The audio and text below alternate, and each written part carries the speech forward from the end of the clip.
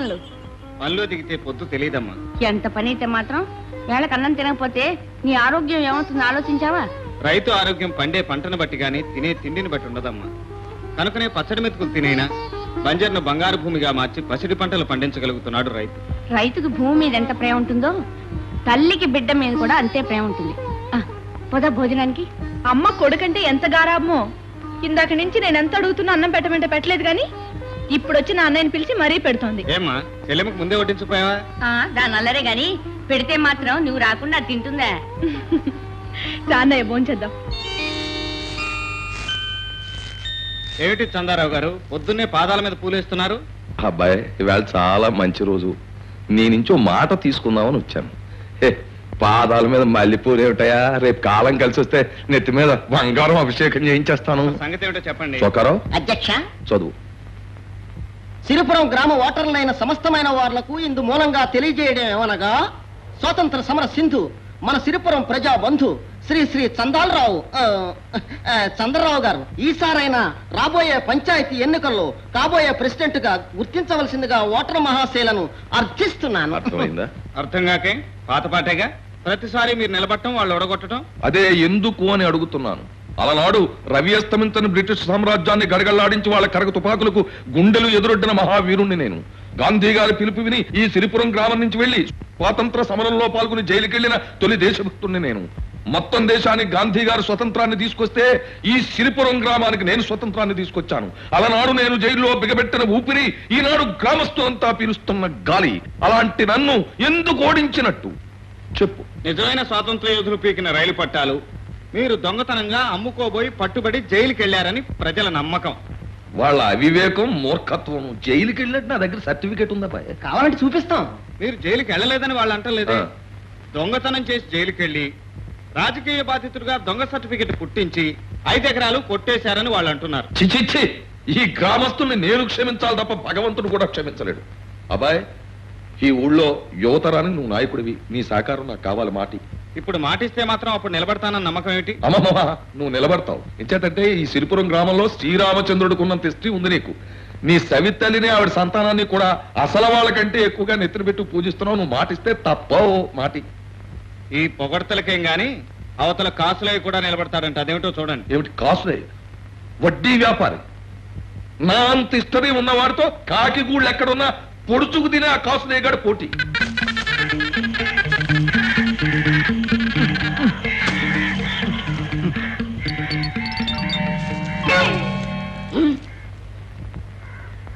అన్నారు ఇవాళ ఇన్ని కట్టెలు పట్టుకొచ్చారేంటి? ఒరేయ్ పది కాలాల పాటు కాకులు పచ్చగా ఉండి గూళ్ళు పెట్టాలే గాని పుల్లలకేం కరువురా? ఆ, కాకులేం పచ్చగా ఉండవు నల్లగా ఉంటాయి. ఏడ్చేగానే ఈవేళ ఏం తెచ్చావురా? పేడ పట్టుకొచ్చాను పిడకలేస్తున్నాను ఏంటి ఈ పేడంతా నువ్వు తెచ్చిందే? ఆ, పది కాలాల పాటు పక్కింటి ఆవులు పచ్చగా ఉండాలి గాని పేడక్కర వింటానా ఏ రోయ్ నువ్వు కూడా మాటలు మరి నేర్చావురా. నీకున్నాయి కదా. అమ్మా, ఆ, ఆ, సరే గాని ఇదిగో ఆ పుల్లలు తగలబెట్టి. వంట చేయి. ఏంటి? మొత్తం నీ వేళ తగలబెట్టావు. నెల రోజులు రావాలి. ఒబ్బడిగా వాడు ఒబ్బిడే.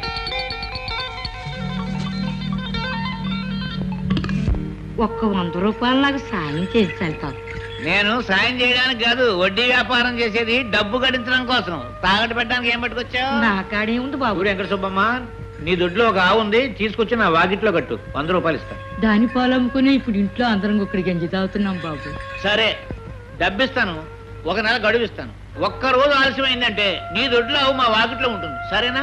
సరే బాబు.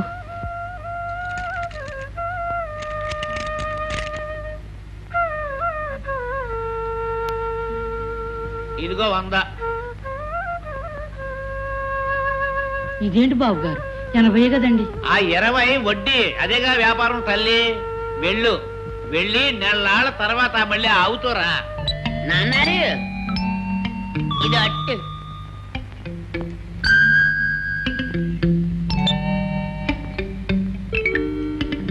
రే నాయనా ఈ గుడ్లు ఎక్కడ కొట్టుకొచ్చావురా? నే కొట్టుకొచ్చినవి కాదు పొలం తీసుకొచ్చారు కదా. అందులో గుడ్లుంటే అట్టేశాను. ఏమిటి కాగుడులతోట? కొడుగుడ్లు కావా? కాగుడులతో అట్టేస్తావా?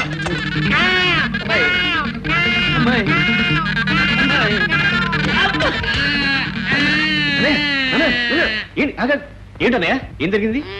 కాకుగుడ్డు అట్టి తిన్నారు. అయితే ఇంకా కాకిగూళ్ళు పడగొట్టే అలవాటు మానలేదన్నమాట. సరేలే నువ్వెప్పుడు వచ్చావు ఎప్పుడు వస్తే ఏంటి కానీ ఏమిటన్నయ్య ఈ అవస్థ. నాలుగు కట్లు కొనుక్కుంటే పోయేది కదా. ఏమిటి? పది గూళ్ళు పడగొడితే మన అవసరం తీరిపోద్ది. దానికి పది రూపాయలు ఇచ్చి పొరలు కొనమంటావా? డబ్బు సంపాదన విలువ నీకు తెలియదు చేసిన పాపం అనుభవించక తప్పదు.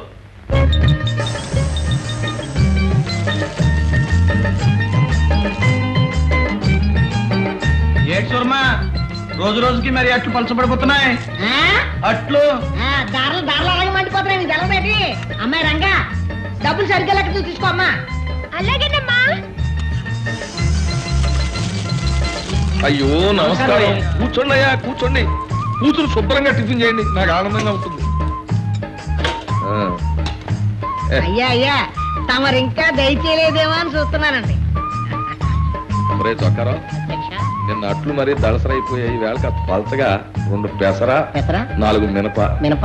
ఉల్లి జీలకర్ర జాస్తి. అయ్యా అయ్యా నేనేమన్నా నాలుగు రోజుల పాటు వ్యాపారం చేసుకోవాలా? ఎత్తున కొట్టేసి పోవాలా? ఇప్పటికే ఆంజనేయుడు తోకలో పెరిగిపోయింది మీ కాట.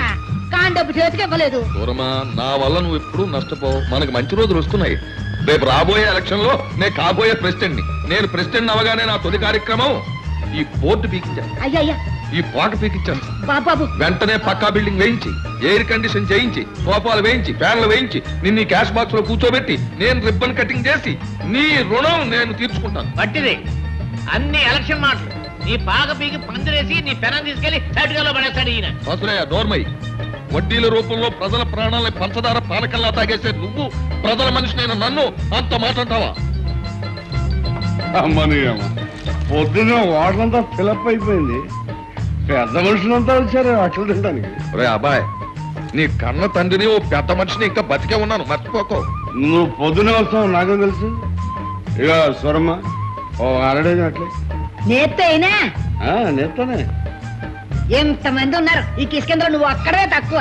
ఏ నేను డబ్బులు ఇవ్వాలనుకుంటున్నావా? పోనీ మా నాన్న కూడా ఇవ్వకపోతే కాసులు అయినట్టుగా కాసులు ఇస్తాడు. ఎవరు నేనా? ఏ ఇవ్వా? అబ్బాయ్ ఇవాళ ఊరు నుంచి పద్మోత్సవం. కాస్త ఈ వాలకంలో కనపడ్డావంటే పెళ్ళి చేసుకో సరికదా మొహం మీద ఉమ్మేస్తుంది. కాస్త మొహం శుద్ధంగా కడుక్కుని శుభ్రంగా కనపడు.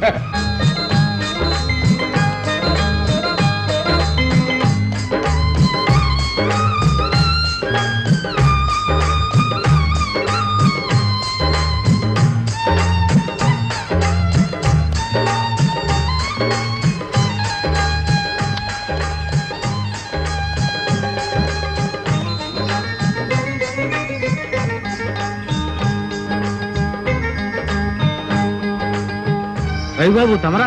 ఉండండి బండి వెనక్కి తీస్తాను ఆగు వెంకయ్య మన ఎందుకు వెనక్కెళ్ళాలి. మన గుర్రం మెళ్ళలో గంటలు మోగుతుంటే ఆయన చెవుల్లో చెట్లు మొలిచాయా? వినకుండా బండి తోలుకు రావడానికి ఆవిడ గారి గుర్రం మెళ్ళలో ఒక్క గంట ఉంటే నా జోడెడ్లకి బోలెడనే మొవలు గంటలు ఉన్నాయి. వెంకన్న మరి ఆవిడ గారి చెవుల్లో బ్రహ్మజవులు మొలిచాయా? బాబు ఇద్దరు అయినాళ్ళు. మీ ఇద్దరికి ఏంటి తగదా? పోనీ మీరైనా వెనక్కి వెళ్ళండి రే వెంకన్న మన ఎద్దులకి వెనకడుగు వేసే అలవాటు లేదు. అమ్మాయి గారు. అవసరమైతే ఈ రోడ్డునైనా కొంటాను గాని నా బండిని మాత్రం వెనక్కు తీను. రోడ్డును కొనగలమేమో కానీ నన్ను నా బండిని మాత్రం కొనలేవు. ఎంత ఉన్నదానివైనా ఆడదానివని వెనకాడవలసిన దానివని గుర్తుంచుకో. నాకే హాయిగా చద్దనం నేను వచ్చాను. రోజంతా ఇక్కడే పడుకుంటాను.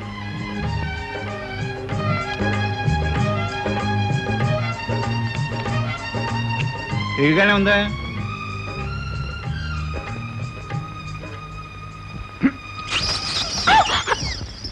తహసీల్దార్ గారు మొహమాట పడుతున్నట్టున్నారు.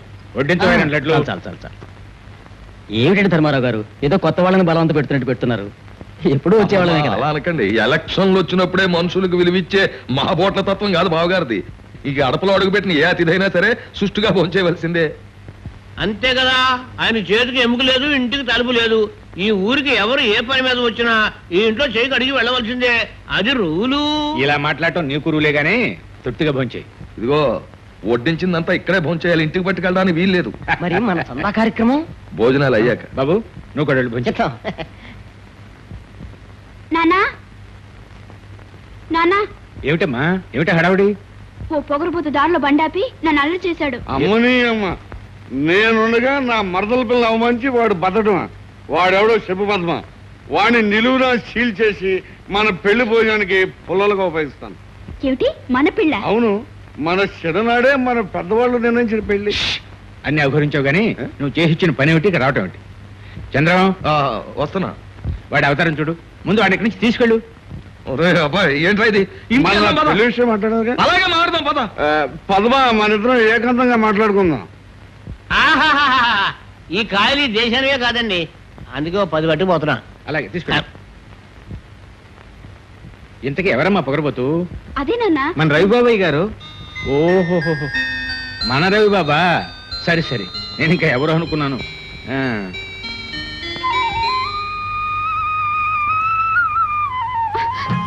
ఏయ్, నువ్వా?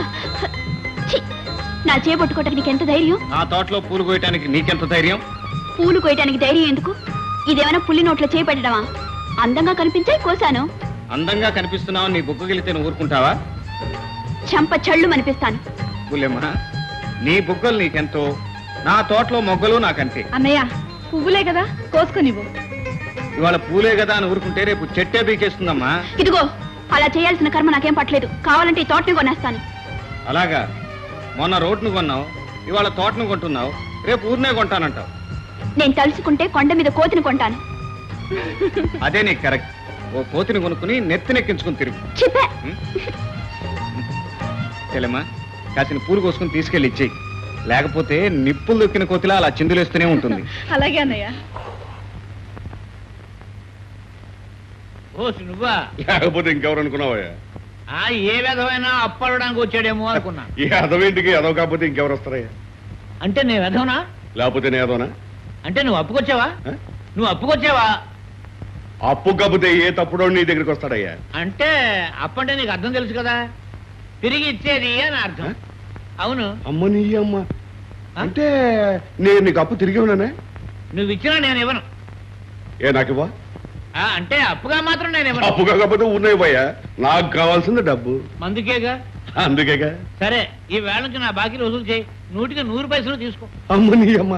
బుర్రంటే నీదే కాసులయ్యా. సరే అలాగే వసూలు చేసుకొస్తా కానీ బోణికేసి అంటే చెప్పు. ఓదార్ దగ్గర వసూలు చేయలేం. వెంకట సుబ్బమ్మ గడువు దాటిపోయింది. వెళ్ళి ఆవును తీసుకురా.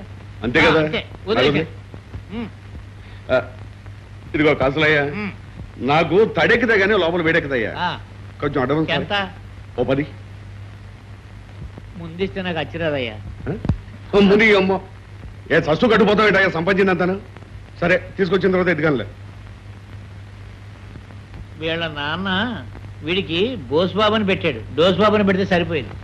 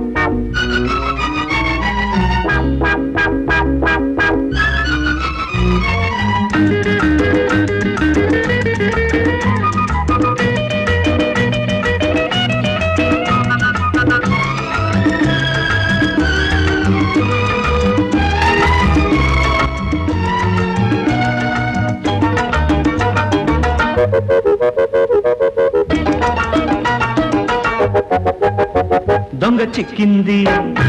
కంగు తిన్నది. దొంగ చిక్కింది. కంగు తిన్నది. హై కంగులోన దాచింది. విప్పి చూపమన్నది. బొంగ మూతి పెట్టింది. బూరిలాగా ఉట్టింది దొంగ చిక్కింది. కంగు తిన్నది దొంగ చిక్కింది. కంగు తిన్నది అరెరెరెరెరెరెరె కొంగులోన దాచింది. విప్పి చూపనన్నది బొంగ మూతి పెట్టింది. బూరిలాగా ఉప్పింది దొంగ చిక్కింది. కంగు తిన్నది.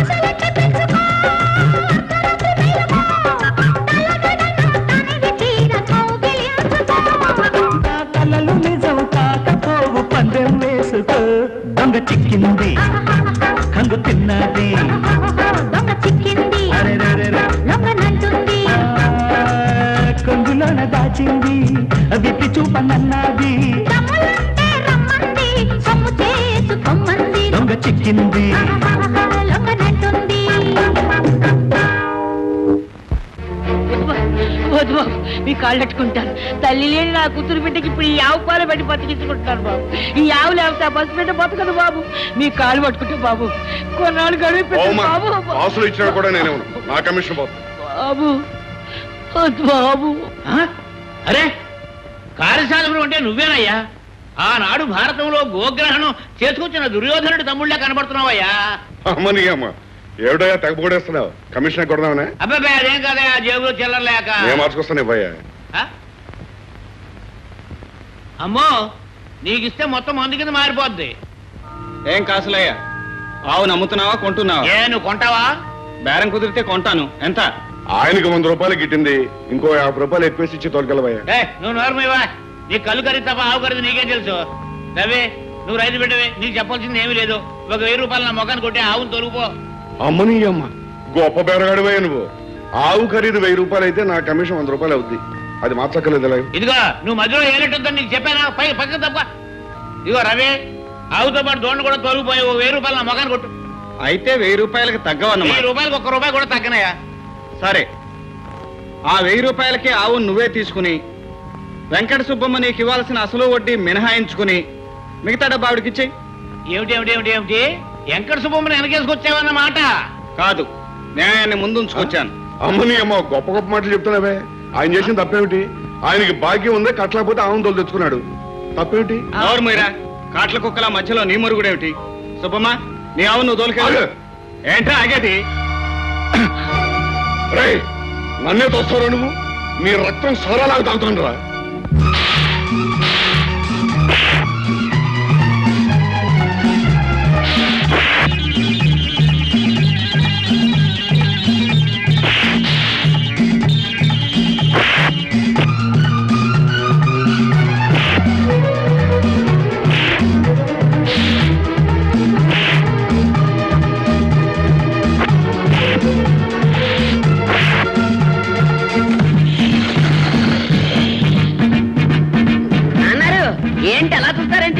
కోతి బిగించి గొడవ దూకండి. దిగితే ఇద్దరు తలకాయలు పగులుతాయిరా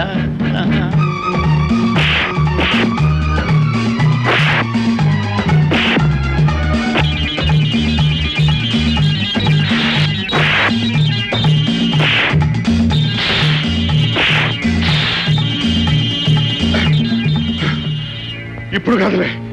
మా నాన్న ప్రెసిడెంట్ అవునాయి అప్పుడు చెప్తాను నీ పెళ్ళి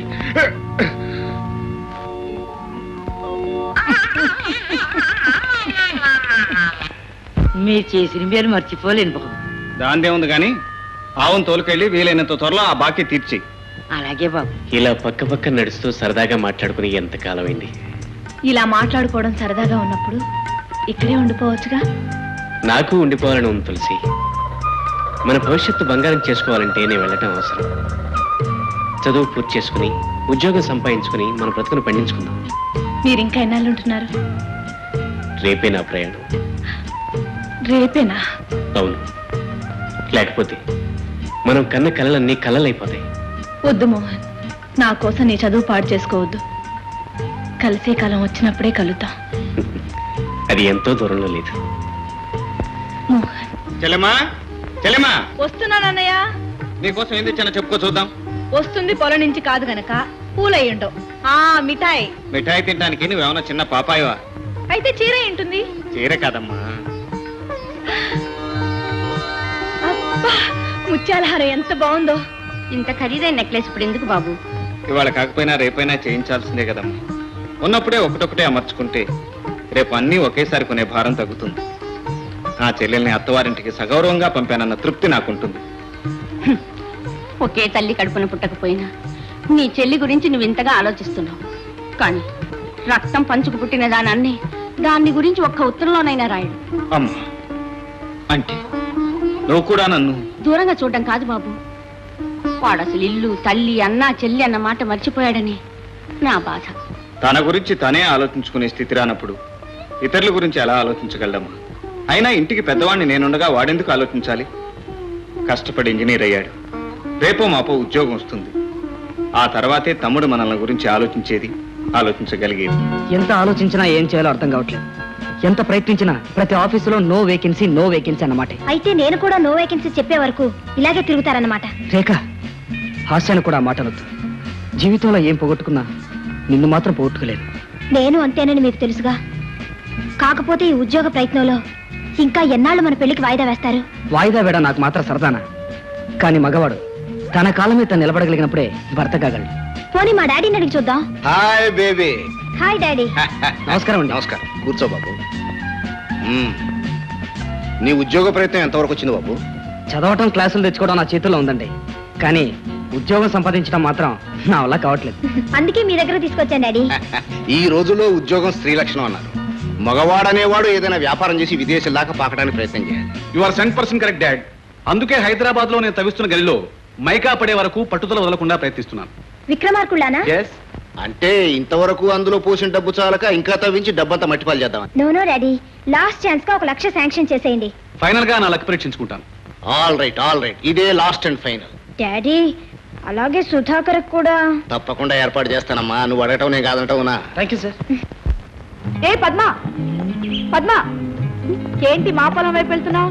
మా అన్నయ్య కోసమేనా? మీ అన్నయ్య ఏమైనా కృష్ణ పరమాత్ముడా? రోజు వెళ్ళి దర్శనం చేసుకురావడానికి మరి ఇలా ఇటెక్కడికి వెళ్తున్నావు? మీ అన్న చెల్లెలు ఏమైనా ఈ దారిని కాంట్రాక్ట్ తీసుకున్నారా? అమ్మా తప్పైపోయింది క్షమించు. క్షమించాను గాని ఆ క్యారెల్ ఏముంది? గారెలు. తింటావా? ఏం అక్కర్లేదు మేము వండుకున్నాం. కావండి చూడు. అస్సరే గారెలు తీసుకుని పొలాల్లోకి వెళ్తున్నావేంటి? నేనా? వనపోతున్నానికి నువ్వే భోజనానికి వెళ్తున్నావో నాకు బాగా తెలుసులే. మా అన్నయ్య మాత్రం నువ్వు చేసిన గారెలు ఏం తిండు. తిండా? అలాగా. ఎందుకు తిండో నేను చూస్తాను. తినిపించడమే కాదు నేను తెచ్చిన గారెలే చాలా బాగున్నాయని మీ అన్నయ్య చేత అనిపిస్తాను. పందెమా? పందెం. ఏది ఆ గారెలు? ఏయ్, ఏమిటి మళ్ళీ ఇటు వచ్చావు? పూలు ఏమన్నా కోసావా? ఏ కోస్తే ఏం చేస్తావు? ఏం చేస్తానా?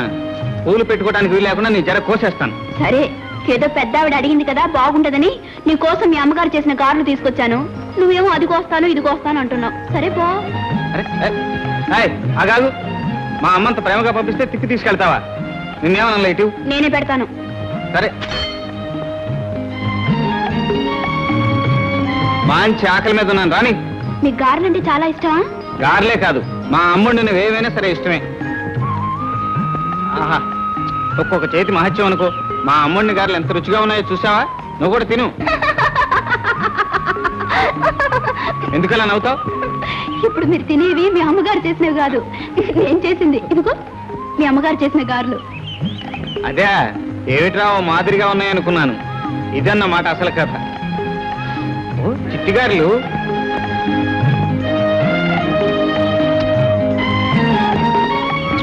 ఎమరుచిగా ఉన్నాయి. నూనె ఉన్నాయి ఎందుకు?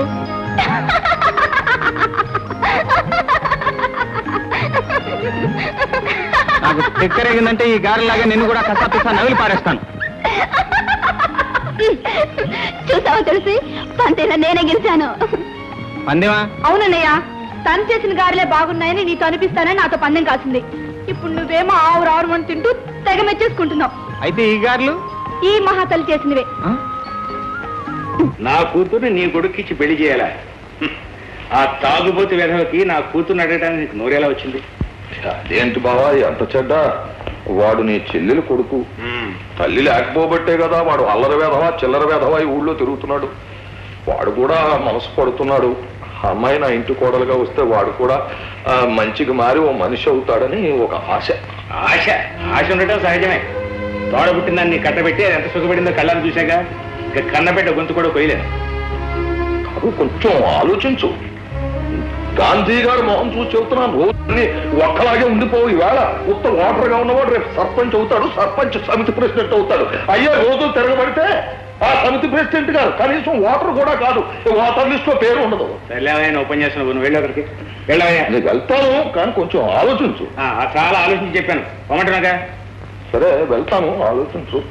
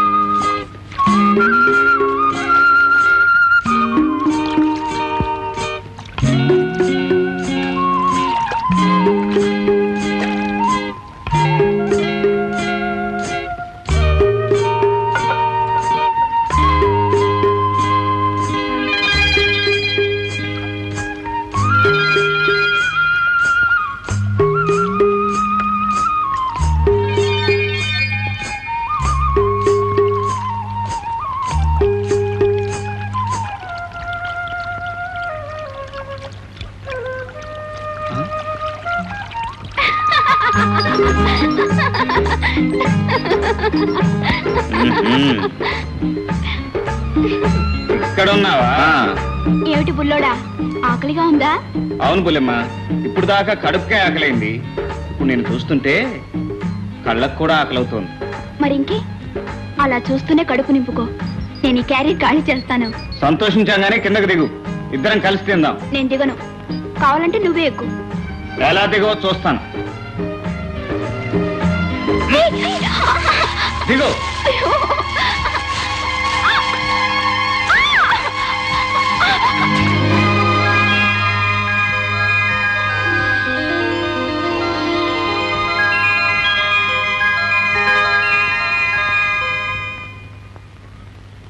పద్మా చచ్చాంపో ఇక్కడికి కూడా దాపురించాడే. ఇప్పుడు ఎలా ఇక మళ్ళీ వాడిని వెంట పడకుండా చేస్తాను. నేను చెప్పినట్టు చెయ్యి.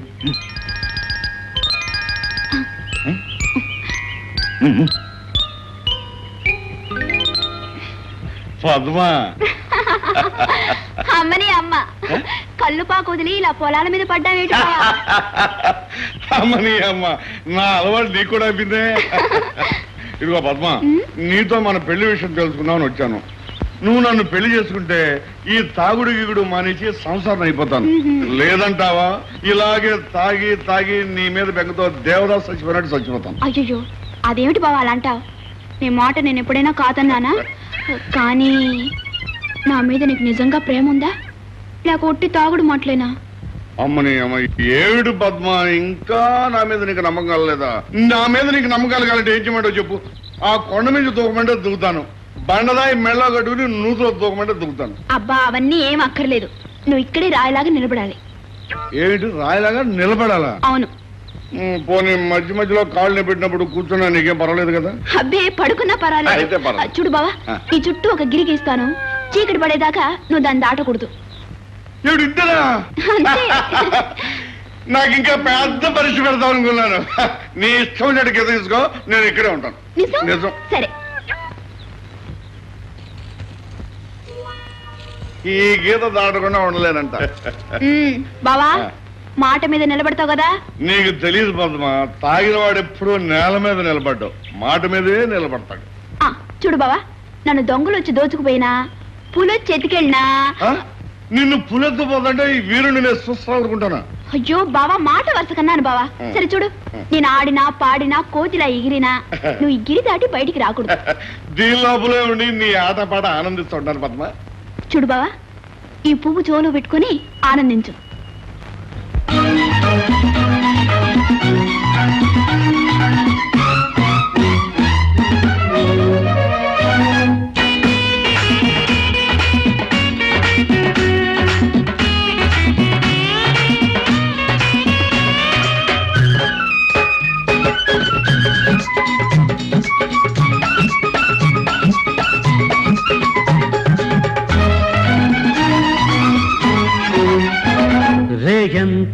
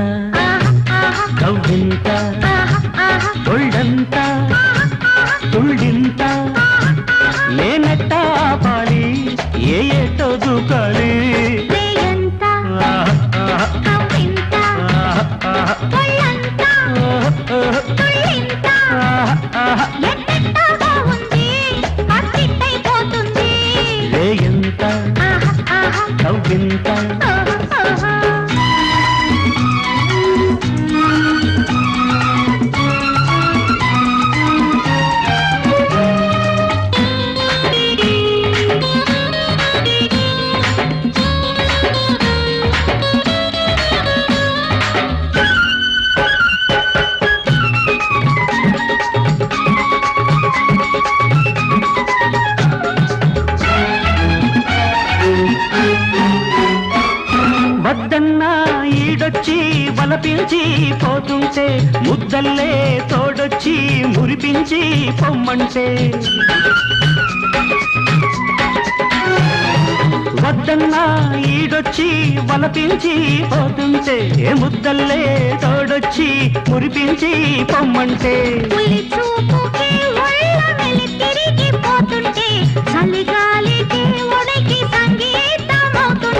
మనసంతా గిలిగింత వయసంతా రే ఎంత? కవ్వింత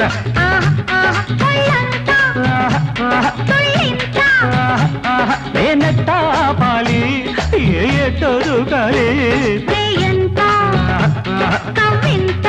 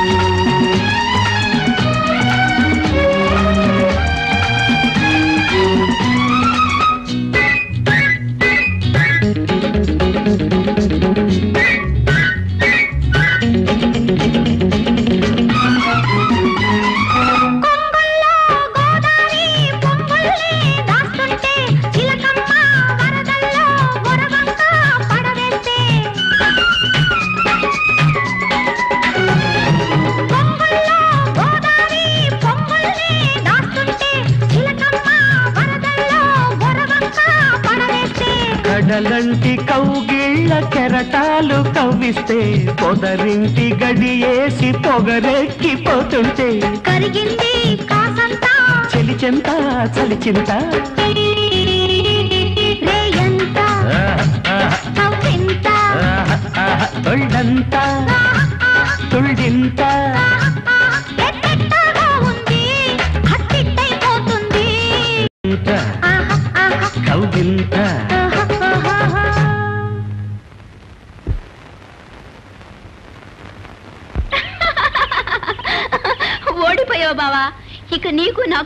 లేదు దోమ లేదు. పద్మ నన్ను మోసం చేస్తావా?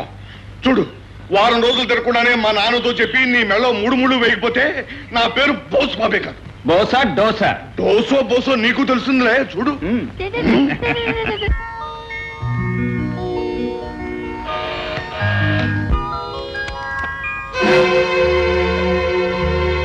సుశీల నువ్వా? ఏమిటి ఇప్పుడు వచ్చావు? ఏమీ లేదండి. నెల్లాళ్ళుగా మీకు విషయం చెప్పాలనుకుంటున్నాను. కానీ మీరు ఎక్కడికి వెళ్ళారో ఎప్పుడు వస్తారో తెలియక బాధపడ్డాను. బిజినెస్ మీద తిరుగుతున్నాను. ఇంతకేమిటి విషయం? అనాథనైన నన్ను ఆదరించి తాళి కట్టి మీ దాన్ని చేసుకున్నారు. ఆ విషయం కొన్నాళ్ళు రహస్యంగా దాచమన్నారు. ఆ రహస్యాన్ని అయితే కడుపులో దాచుకోగలిగాను కానీ పెరుగుతున్న ఈ బిడ్డను ఎలా దాచేది? దాచడానికి ఇందులో తప్పే ఉంది?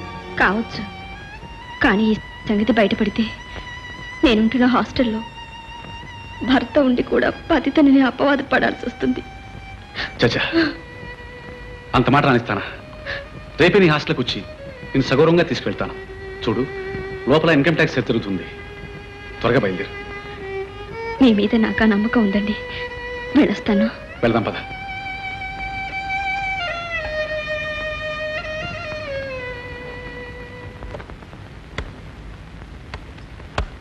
ఏమిటి హడావిడి? హడావుడి కాదు. అర్జెంట్. మా నాన్నగారి సీరియస్గా ఉందని కబురు వచ్చింది. వెంటనే బయలుదేరాలి. మనం తర్వాత కలుద్దాం. మిస్టర్ సుధాకర్ నీకేదైనా వ్యాపారం చూస్తానన్నానుగా? ఇదిగో సెల్ఫ్ ఎంప్లాయ్మెంట్ స్కీమ్ కింద నీకు బ్యాంక్ వారు అప్పిచ్చేట్టు ఏర్పాటు చేశాను. నీ ఇష్టం వచ్చిన ఇండస్ట్రీ స్టార్ట్ చేసుకో. Thank you sir many many thanks daddy it's all right ఇంతకు ఏ వ్యాపారం స్టార్ట్ చేద్దాం అనుకుంటున్నావు? స్టీల్ ఇండస్ట్రీ పెడదాం అనుకుంటున్నాను. గుడ్ నేనదే చెబుదాం అనుకున్నాను. సుధాకర్ అందులో నన్ను వాచ్మెన్ గానో ప్యూన్ గానో వేసుకో. అంత కర్మ నీకేం పట్టిందిరా? అవును నీ మైనింగ్ బిజినెస్ ఏమైంది? డాడీ నువ్వు అన్నట్టు ఎంత వినా మట్టి తప్ప మైక పడలేదు. అందుకని క్లోజ్ చేసి వచ్చేసాను ఇప్పటికైనా తెలిసి వచ్చింది. చాలు. సుధాకర్ అవసరమైతే హరి సహాయం తీసుకో. అలాగే కానీ నేను ఒకసారి ఇంటికి వెళ్ళొస్తాను. దేనికి? డిపాజిట్ కొరకు కొంత డబ్బు కట్టాలిగా? దానికెందుకు ఇంటికెళ్ళవు డాడీయే కట్టేస్తారుగా? నూనె రేఖ. ఈ విషయం అన్నయ్యతో చెప్పాలి. పైగా వ్యాపారంలో నాదంటూ కొంత డబ్బు ఉండాలిగా? సుధాకర్ సొంత డబ్బుతో వ్యాపారం చేస్తే అచ్చురాదు అంటానికి నేను ఒక ఉదాహరణ. అప్పు చేసి మొదలుపెట్టు. ఇండస్ట్రీకి ఆయుష్ పెరుగుతుంది. No no no. That's very bad. Sudhakar అన్నట్టు ఏ వ్యాపారంలోనైనా కొంత సొంత డబ్బు లేకపోతే శ్రద్ధా బాధ్యతలు ఉండవు సుధాకర్ నువ్వు అనుకున్నట్టే కానీ. థ్యాంక్ యూ సార్ నేను మీ ఊరికి వస్తాను. దేనికి? మీ ఊరిని మీ వాళ్ళని చూడడానికి. ఏ రాకూడదా? అబ్బే రాకూడదని కాదు. కానుస్తావేటి పల్లెటూరు చూసి చాలలేదు నేను వస్తాను. ఓకే.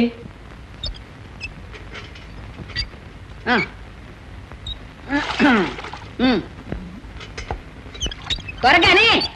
ఏమిటి చూరమ్మా నీ గంగాళాలన్నీ నిండే వరకు మేము గంగిగోళ్ళ నుంచోవాలా? నేను అప్పుడప్పుడు పోయి అక్కడ కూకండే అంటున్నా. అయితే మా అందరికి ఒక బింది ఇవ్వనమాట ఎందుకు ఇవ్వాలంట? మీలా ఐదారు నరులుండి కొంపలు అమ్మాయి తెల్లారు లేచిన రకాయతు మీ ఇళ్ళలో ఉండే ఊరు జనం అంతా వచ్చి మా హోటల్ మీద పడి సోరమ్మా పాలపొడి సోరమ్మా యాపల సోరమ్మా నీళ్ళని వచ్చి ఈ గంగాళాల్లో ఉండే నీళ్ళన్నీ పోసుకుపోతారా అందుకని మా ఇంట్లో ఉన్న పిల్ల మేక మంచినీళ్ళు కూడా రోజుకోరన్నమాట కూరమ్మా నోచుకోరమ్మా. ఇప్పటికైనా రాబోయే ఎలక్షన్లో మీరంతా కలిసికట్టుగా మీ మంచి మీరు తెలుసుకుని నన్ను ప్రెసిడెంట్గా ఎన్నుకోండి. ఆకాశ గంగన పొలాల్లోకి దించుతాను పాతాళ గంగన మీ ఇళ్ళలోకి పంపిస్తాను. నిజం చెప్తున్నాను గాంధీ గారి మొహం చూసి నన్ను గనక మీరు ప్రెసిడెంట్గా ఎన్నుకుంటే ఈ సిరిపురాన్ని గంగాపురంగా మార్చేస్తాను ఊరంతా గంగా ప్రవాహం. అంటే ఊరంతా గంగలో ముంచుతాను వాసులయ్య ఆ తప్పుడు మాటలు మాట్లాడుకు నీకు ముంచడమే తప్ప తేల్చడం చేత కాదు. ఈ గ్రామాన్ని మంచినీటి ఎద్దడి నుంచి రక్షించడానికి గత పది సంవత్సరాలుగా ఎన్ని ప్రణాళికలు? ఇంటికో కుళాయి వంటింటికో కుళాయి చొప్పున అనేక అనేక ప్రణాళికలు నేను తయారు చేసి కూర్చున్నాను ఈ సంచి నిండా అయ్యే. నిజం చెబుతున్నాను గాంధీ గారు మొహం చూసి మీరు గనక నన్ను రాబోయే ఎలక్షన్లో ప్రెసిడెంట్గా ఎన్నుకోకపోతే మీకు తాగడానికి మంచినీళ్ళే కాదు కార్చడానికి కన్నీళ్ళు కూడా ఉండవు ఆ నిన్ను ఎన్నుకుంటే మొత్తం అన్ని కన్నీళ్ళే ఇదిగో. జాగ్రత్త. సూరమ్మ నేను మగాణ్ణి మీరంతా అవతల తప్పుకుని నాకు ఇవ్వండి అవకాశం నేను పట్టుకెళ్తాను.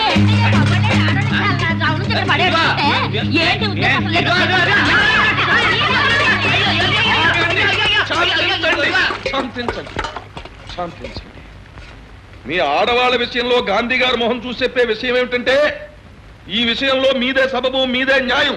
నా సపోర్ట్ మీకు ఉంటది కనుక మీ స్వేచ్ఛా స్వాతంత్రాలు సమైక్యంగా మీరు అతని మీద రుజువు చేయండి.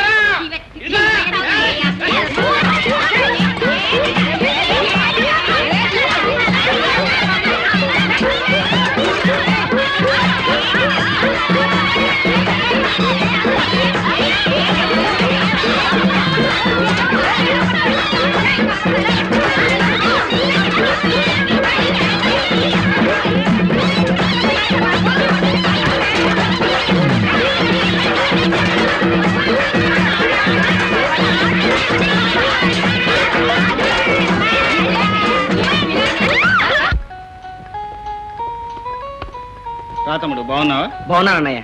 ఈ అమ్మాయి నా క్లాస్మేట్ రేఖ ఆయన వాళ్ళ అన్నయ్య హరిబాబు. నమస్కారం. నమస్కారం అండి. బాబు ఇదేనా రావడం. అవునమ్మా. హరి మా అమ్మ చెల్లి. నమస్కారం అండి. సరదాగా మీ ఊరు చూడ్డానికి వచ్చాం. అంతేగాని మమ్మల్ని చూడడానికి కాదన్నమాట. సుధాకర్ మీ చెల్లి చాలా మెతకన్నావు. మాటగారే. స్నేహితులతో వచ్చేటప్పుడు ముందుగానే ఉత్తరం రాయకూడదు. అనుకోకుండా బయలుదేరమ్మా. ఎలా బయలుదేరితేనే మంచి సమయానికి వచ్చారు. ఏమిటన్నయ్య? రేపు మన ఊళ్ళో తిరణాలు జరగబోతుంది. బలే బలే పల్లెటూరు తిరణాలంటే నాకు చాలా ఇష్టం. రండి స్నానాలు చేసి భోంచెద్దురు గాని రామ్మా కమన్ హరి.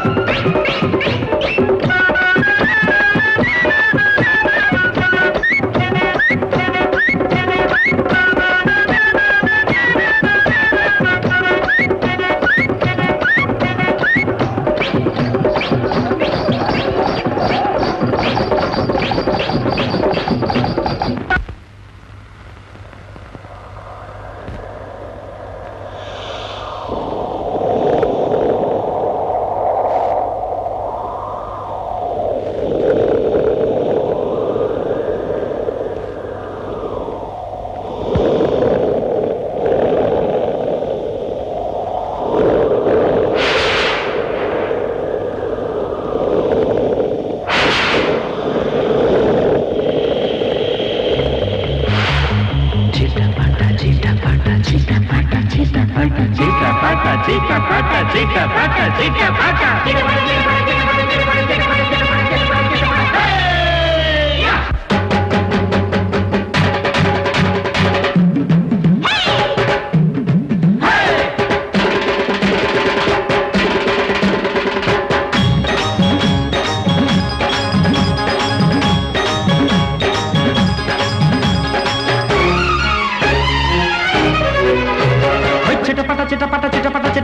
చినుకే పడ్డది.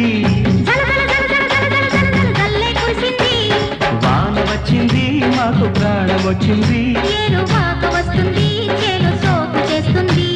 దండిగా తల్లి వానలక్ష్మి నిండుగా పండమ్మ తల్లి పంచలక్ష్మి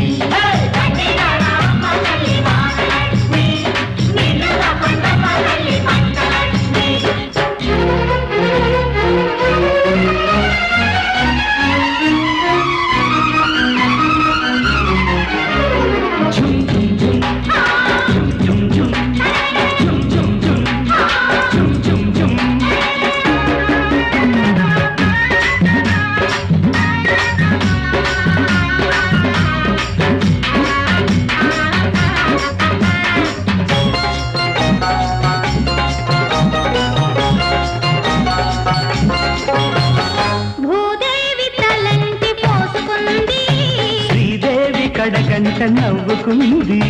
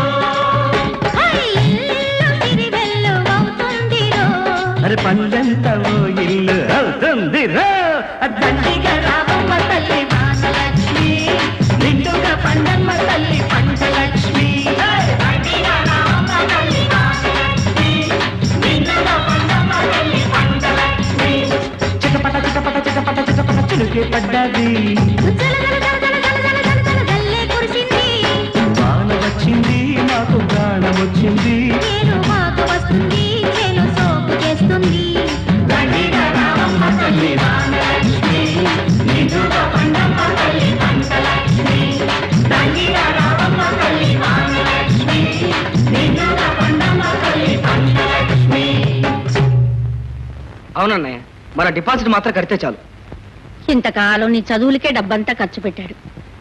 ఇంకా వ్యాపారానికి ఎక్కడ తెచ్చిస్తాడు? పైగా ఈ శ్రావణ మాసంలో చెల్లెలు పెళ్ళి చేయాలనుకుంటున్నాడు. చెల్లి పెళ్ళి కుదిరినప్పుడు ఆలోచించవచ్చమ్మా కానీ డబ్బు కట్టపోతే నేను నిరుద్యోగంగా కాళ్ళు ఇడ్చుకుంటూ తిరగాల్సిందే. అదేం కాదండి. మా నాన్నగారే డిపాజిట్ కూడా కడతానంటే కాదు కూడదని మిమ్మల్ని వచ్చి ఇబ్బంది పెడుతున్నారు.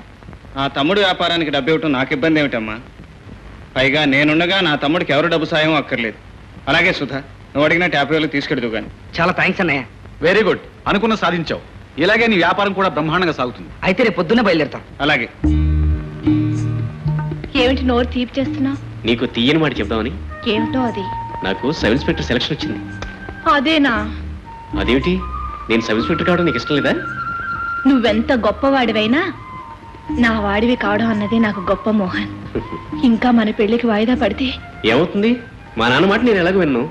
మీ అన్నయ్య నీ మాట కాదండు. నిజమే. అన్నయ్యకి నేనంటే ఎంత ప్రేమో? అన్నయ్య అంటే నాకు అంతే ప్రేమ.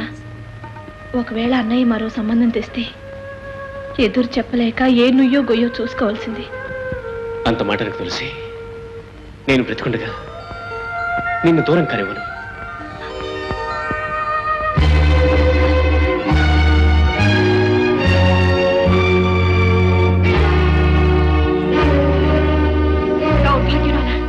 ఎన్నాళ్ళ నుంచి జరుగుతోంది నాటకం? నువ్వు ఎలాంటి కుటుంబంలో పుట్టావు ఎలా పెరిగావు ఎలా ప్రవర్తిస్తున్నావు? వయసు వచ్చిన ఆడదానివి పరాయి మగవాడితో పరాచికాలు ఆడతావా? నేనే తప్పు చేయలేదమ్మా. తప్పు చేయలేదు? అమ్మా! అమ్మా! ఏమిటి పిచ్చి? పిచ్చి కాదు బాబు. నా కడుపును పుట్టి ఇది తెచ్చిన తలవంపులకి నా కడుపు కోత. అందుకని బిడ్డల రహస్యాన్ని కడుపులో పెట్టుకుని పరిష్కరించుకోవాల్సిన తల్లివి నువ్వే ఇలా తొందరపడితే ఎలాగమ్మా? తొందరపడ్డం లేదు బాబు. తల్లిగా ఆడపిల్లని అదుపులో పెట్టుకుంటున్నాను. వయసు వచ్చే వరకేనా మా పిల్లలు మన మాట వినేది. ఆ తర్వాత మనసు మాటే తప్ప మన మాట వినరు. మనసు తెలుసుకోకుండా అదుపులో పెడితే అది మరో సమస్యకు దారితీస్తుంది. చెల్లెమ్మా నీకు బంగారం లాంటి భర్తను చూసి పాడికుండ లాంటి సంసారానికి పంపాలని ఎన్నో కలలు కన్నాను. ఇప్పటికైనా నీ మనసులో ఏముందో చెప్పు. నువ్వు అతను చేసుకుంటావా? నేను అతన్ని ప్రేమించాను. మీరు ఇష్టపడితే పెళ్ళి చేసుకుంటానన్నయ్య. ఈ మాట నాకు ముందే చెప్పుంటే ఇంతల్లరి జరిగేది కాదు కదమ్మా. నన్ను క్షమించన్నయ్యా బాధపడకమ్మా. నువ్వు కోరుకున్న వాడితో నేను ఈ పెళ్ళి వైభవంగా జరిపిస్తాను. ఏమిటి బాబు నువ్వు అనేది? పువ్వులా పెంచుకున్న బిడ్డని ఆ పిసినారింటి కోడలుగా పంపుతావా? మోహన్ వాళ్ళ నాన్న లాంటి వాడు కాడమ్మా. అయినా ఆ ఇంటికేగా వెళ్ళేది? అది వాళ్ళ ఇంటికి వెళ్తే చేసేది సంసారం కాదు బాబు. ఆ పిసినారి కొంపలో ఊడిగం. ఎందుకు చేస్తుందమ్మా? మోహన్ మంచివాడు చదువుకున్నవాడు. రేపు ఉద్యోగం వస్తే ఏ బస్తీలోనో కాపురం పెడతాడు కానీ ఈ కాసులో ఇంట్లో ఉంచడుగా? రేపే వెళ్ళి పెళ్ళి ఖాయం చేసుకొస్తాను. రవిబాబుతో సంబంధం అందుకోవడం అంటే రాజాతో సంబంధం అందుకున్నట్టే. ఈ భాగ్యానికి ఇంత దూరం రావాలా? కాకి చేత గౌరవిస్తే నేనే వచ్చి ఉండేవాడిగా ఇంకా కాకులు ఎక్కడున్నాయి? నీ దెబ్బతో ఎప్పుడో పొరుగురు పారిపోయి రేయ్, నువ్వు నోరు మూసుకుని లోపలికి పో. పో. పొమ్మంటే పోతాం. చూడండి ధర్మారావు గారు. ఆ దేనికయ్యా? తటపటాయింపు కాదండి. మరి? పక్కూరు పరంధామయ్య గారు లక్షన్నర ఇస్తానన్నారు. వనమూరు వెంకటరామయ్య గారు రెండు లక్షలు ఇస్తానన్నారు. ఆ మరి నువ్వు అనేది ఏమిటయ్యా? లేదంటే నేను ఏమైనా ఒప్పుకున్నానా? అంత మాత్రానికి రవి సంబంధం నేను ఏమైనా కాదన్నానా? కాకపోతే నలుగురిలో గౌరవంగా ఉండడం కోసం తాంబూలంలో లక్షణంగా ఓ లక్ష రూపాయలు పెట్టి ఇమ్మంటున్నాను అంతే. కాసులయ్యా నీ తెలివితేటలు చాలా అమోఘమైనవయ్యా. వద్దు వద్దంటూనే చాలా ముద్దుగా అడిగా ఇదిగో చూడు రవి కొన్న ఆస్తిపాస్తులు ఏమిటో నీకు తెలుసు. తమ్ముడు చదువు కోసం అతను ఎంత ఖర్చు పెడుతున్నాడో నీకు తెలుసు. అంత డబ్బు ఎక్కడి నుంచి తీసుకొచ్చిస్తాను అనుకున్నావు రవి అనుకుంటే ఎలాగైనా ఇవ్వగలదు కాసులయ్యా. మావయ్య చేయబోయేది బాంధవ్యమే కానీ వ్యాపారం కాదు. ఇక్కడ బేరమాటం వల్ల అభిమానాలు దెబ్బతింటాయే కానీ వేరే ప్రయోజనం ఉండదు. మీరు అడిగిన లక్ష్య ఇస్తాను. ముహూర్తం పెట్టించండి. హరి నువ్వు మనస్ఫూర్తిగానే మాట అంటున్నావా? నిజం సుధా నేను మీ ఊరొచ్చి మీ చెల్లెలను చూసినప్పుడే ఆమె నా భాగస్వామిగా చేసుకోవాలనుకున్నాను. ఈ పెళ్ళి జరిగితే నా చెల్లి కంటే అదృష్టవంతురాలు ఎవరు ఉండరు. మా అమ్మ అన్నయ్య అందరూ సంతోషిస్తారు. I'm very happy thank you pronote అయితే చెల్లేసి అలాగే రద్దు చేసేవాడిని తమ్ముడు. కానీ ఇది పెళ్ళి పది మందిలోనూ ఇచ్చిన మాట. అంటే పది మంది కోసమే చెల్లి గొంతుకొస్తావా ఆడపిల్ల జీవితం ఏమైనా? నువ్వు ఆడిన మాట తప్పని హరిశ్చంద్రుడు అనిపించుకోవాలా కక్కుర్తా? నాకు అలాంటి ఉద్దేశం ఏనాడూ లేదు. నేను నా మాట నా సుఖం అని ఏనాడూ ఆలోచించలేదు. కాకపోతే మన కుటుంబం మన గౌరవం అని ఆలోచించాను. మా నాన్న దృష్టి నీకు లేదు. మారుటన్నావు కనుకనే ఈ దారుణానికి దిగావు. తమ్ముడు! లేకపోతే నీ సొంత చెల్లెలే అయితే శ్రీమంతుల బిడ్డ హరిబాబుకి ఇచ్చి పెళ్ళి చేస్తానంటే వద్దంటావా? పొరపడుతున్నావు తమ్ముడు. ఈ నిర్ణయానికి కారణం నేను కాదు. తులసే తన మోహన్ని ప్రేమించానని అతన్నే పెళ్ళి చేసుకుంటానని భీష్మించు కూర్చుంది. ఈ విషయం నలుగురికి తెలియకముందే ఈ పెళ్ళి నిర్ణయించాల్సి వచ్చింది పసిపిల్ల నిప్పు కావాలని కోరుకుంటే ఇస్తామా? ఉగ్గుతానని మారం చేస్తే మానేస్తామా? పెళ్ళి విషయంలో దాని ఇష్టాయిష్టాలేమిటి? మన దృష్టిలో అది పసిపిల్లే కావచ్చు బాబు. కానీ లోకం దృష్టిలో అది పెళ్ళికి ఎదిగిన పిల్ల. మంచి చెడు నిర్ణయించుకోగల మనిషి. అమ్మా నువ్వు కూడా ఈ పెళ్ళిని సమర్థిస్తున్నావా? మన తప్పు కానప్పుడు మనం చేయగలిగింది ఏమీ లేనప్పుడు జరిగేదాన్ని మనస్ఫూర్తిగా జరగనివ్వడం మర్యాద బాబు. కాదు మూర్ఖత్వం. దయచేసి నా చెల్లి పెళ్ళి నా ఇష్ట ప్రకారమే జరగనివ్వండి. ప్రేమ బాధ్యత పెద్దరికం పేరుతో పరాయి వాళ్ళు నా చెల్లి గొంతు కోయటానికి ప్రయత్నించకండి. ఎవరు నా పరాయవాళ్ళు దేవుళ్ళ లాంటి అన్నయ్యను పరాయవాడు అనడానికి నీకు నోరెట్లా వచ్చిందిరా? తండ్రి తర్వాత తండ్రంతటి వాడుగా నిలిచి చదివించి ఈ కుటుంబాన్ని ఇంత స్థితికి తెచ్చిన వాడు పరాయవాడా రేయింపవాళ్ళు రెక్కలు విరుచుకుని చెల్లి పెళ్ళికని దాచిన డబ్బుని వ్యాపారానికి కావాలని ఊడ్చగలని నువ్వు రా పరాయివాడివి. ఆవేశపడకమ్మా. ఎంత కాదనుకున్నా పేగు ఎడం ఎడమేనమ్మా. తమ్ముడన్న మాటలో తప్పు లేదు. తన ఎంగిలి పాలు తాగి పెరిగిన చెల్లి మీద తనకు మించిన మమకారం నాకెలా ఉంటుంది? వెర్రిగాని బాబు. తమ్ముడు మారుటన్ననయుండి. నీకు తెలియకుండా నీ సొంత చెల్లెల విషయంలో నిర్ణయం తీసుకోవటం నా తప్పే. క్షమించు. ఏది ఏమైనా నా చెల్లెలి పెళ్ళి నా ఇష్ట ప్రకారం జరగాల్సిందే. అన్నయ్య చావమంటే చస్తాను గాని తన పెళ్ళి కోసం నన్ను తాగడి పెట్టద్దని చెప్పి. ఓహో అర్థమైంది. అయితే ఇంట్లో ప్రతి ఒక్కరు నాకు వ్యతిరేకులు అనమాట అలాంటప్పుడు ఇంటికి నాకు మాత్రం సంబంధం ఎందుకు? నా ఆస్తి నాకు పంచమండి తమ్ముడు! సుధాకర్ ఇప్పుడు ఆస్తి పంపకం. వద్దు తమ్ముడు తొందరపడద్దు. చెల్లి పెళ్ళి గురించి అన్నదమ్ములు విడిపోయారని అప్రదిష్ట తేవద్దు. నా మాట విను. నా మాట వినని వాళ్ళ మాట నేను వినను. నా మాట చెల్లని చోట ఒక్క క్షణం కూడా ఉండను. వెంటనే మధ్యవర్తిని పిలిపించి పంపకాలు చేయించండి. ఇంకా నీకు ఆస్తిలో భాగం ఎక్కడిదిరా? మధ్యవర్తుల్ని పిలిపించడానికి? నీ చదువులకి సరదాలకి వ్యాపారానికి చేసిన ఖర్చు నీ భాగానికి మించే ఉంటుంది. ఇక నీకు చిల్లి గవ్వ కూడా మేము ఇవ్వక్కర్లేదు. వెళ్ళరా? నా కళ్ళ నుంచి వెళ్ళిపో. ఉద్రేకపడకమ్మా. ఈ గొడవ నలుగురు వింటే నవ్విపోతారు. కన్న కొడుకే కడుపు మీద తన్ని పగపగా నవ్వుతుంటే ఇక నలుగురి నవ్వుతో నాకు పని ఏమిటి బాబు? పంపించే వాడి ముఖం కూడా నేను చూడలేను. తమ్ముడు ఇంటి పెద్దగా నా బాధ్యత నేను నిర్వహిస్తాను. మన మధ్యన వేరే మధ్యవర్తులు ఎందుకు? నువ్వు అడిగినంత నీకు ఇస్తాను కానీ నువ్వు ఎక్కడున్నా నీ క్షేమం కోరేవాళ్ళం మేము ఇక్కడ ఉన్నామని మాత్రం మర్చిపోవద్దు. జీవితంలో మనం అనుకున్నవన్నీ జరగవు. నాకు మీ చెల్లెల్ని చేసుకునే అదృష్టం లేదనుకుంటాను. బాధపడకు. కాదు హరి దురదృష్టవంతురాలు నా చెల్లెలే. కలవారింట సుఖంగా ఉండాల్సింది మా అన్నయ్య మూలంగానే. ఎగ్జాక్ట్లీ చాలా మంచి పని చేశావు.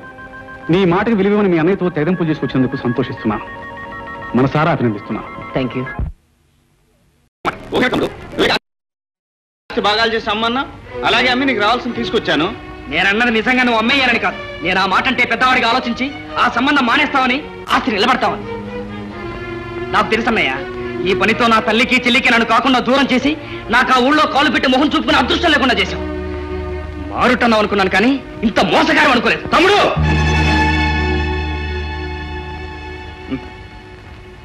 మారుట నన్ను అనిపించుకోకూడదనే నిన్నింత గారాభంగా పెంచాను. చిన్ననాడే చేయి చేసుకుని నువ్వు నీ కారు కూతురు కూసేవాడివి కావు.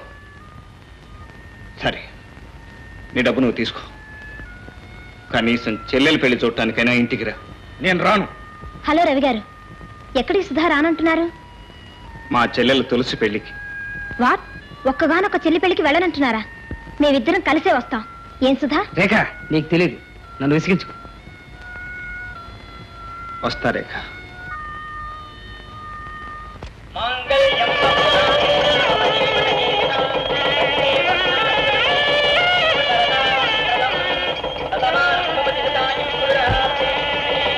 లిమిట్గా పిల్లల్ని కానీ పొదుపుగా బతకండి. పదండి.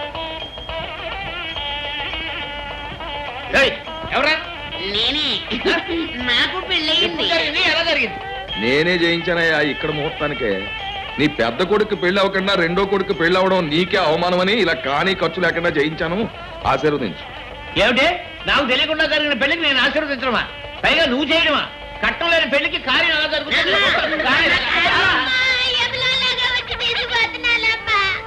ఊరుకోవే ఎక్కడ పోతాడు వాడే వస్తాడు. నేను చూస్తా కదా. జంటగా పడుకోవాల్సిన వాడు ఒంటిగా కూర్చోవలసి వచ్చింది. పాపం అనిపిస్తావు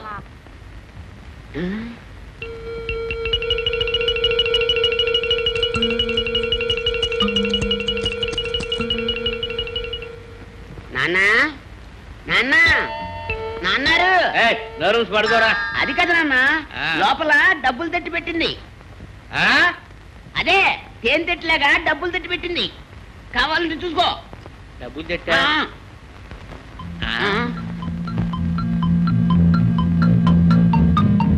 డబ్బులు తెచ్చి పెట్టడమా?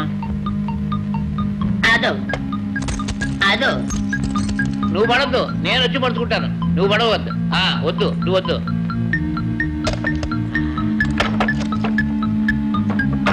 ఈ కర్ర తీసుకో. అది. అదే.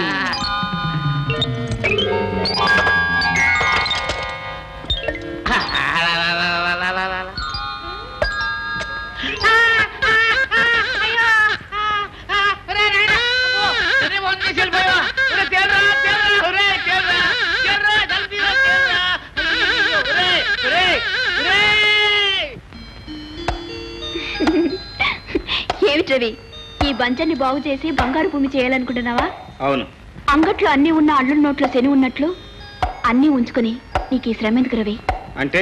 నేనే నీ దానికి కాబోతున్నప్పుడు. మరి నా ఆస్తి నీది కాదా? నువ్వు నా దాని అయినప్పుడు కదా. అంటే నేనే వచ్చి నీ మెళ్ళ తాళి కట్టాలా? కట్టినా కట్టించుకున్నా కావాలనుకున్నప్పుడు కదా. అయ్యా బ్రహ్మచారి గారు మరి ఏ చెల్లి పెళ్ళి చేయడానికి నీ వాయిదాలు? ఇది వాయిదా కాదు తీర్మానం. ఏమని? ఈ జన్మకు పెళ్ళి చేసుకోనను రవి. క్షమించు పద్మ. కొండవాగుతో పాటు బండరాయి కూడా దూకుతుంది. కానీ అది పగిలి ముక్కలై ఇసకై. వాగుతో పాటు సాగలేక ఎక్కడో ఓ చోట ఆగిపోతుంది. ప్రస్తుతం నా పరిస్థితి అంతే.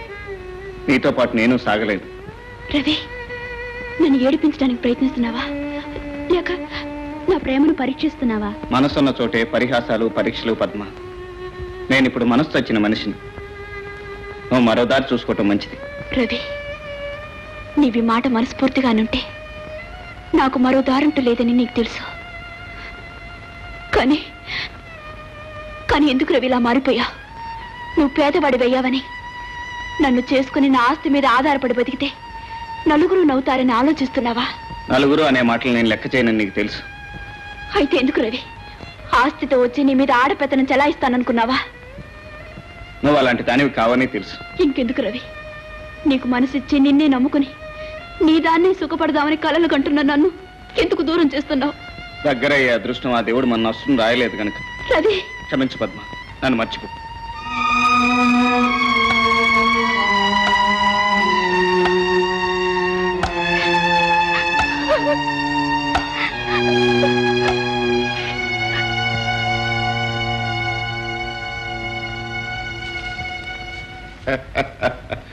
పద్మ.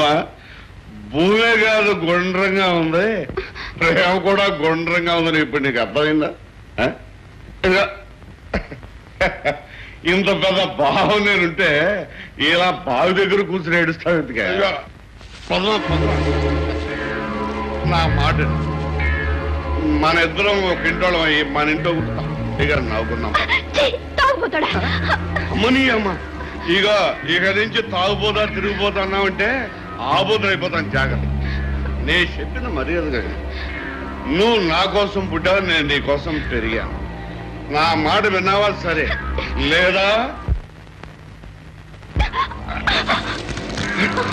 అమ్మ. అమ్మని అండ తగ్గినా దీని అన్నం తగ్గలేదు. దీని పోరాడు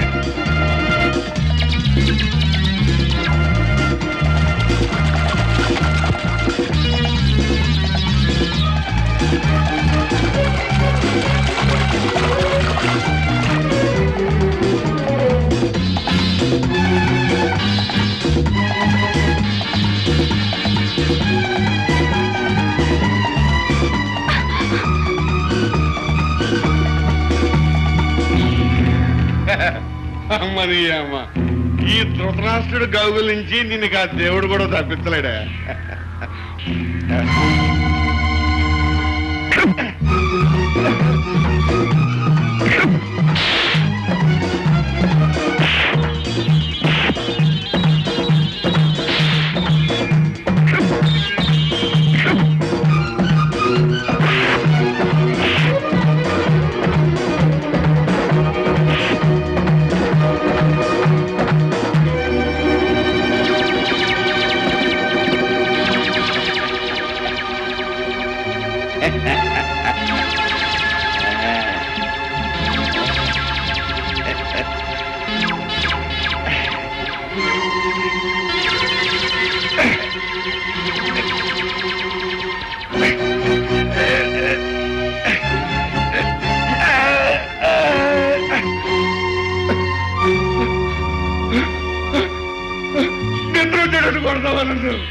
తాగి ఒళ్ళు తెలియకుండా ఉన్నావు కాబట్టి బతికిపోయావు. లేకపోతే ఇవాళ నువ్వు చేసిన పనికి నా చేతిలో చచ్చుండేవాడి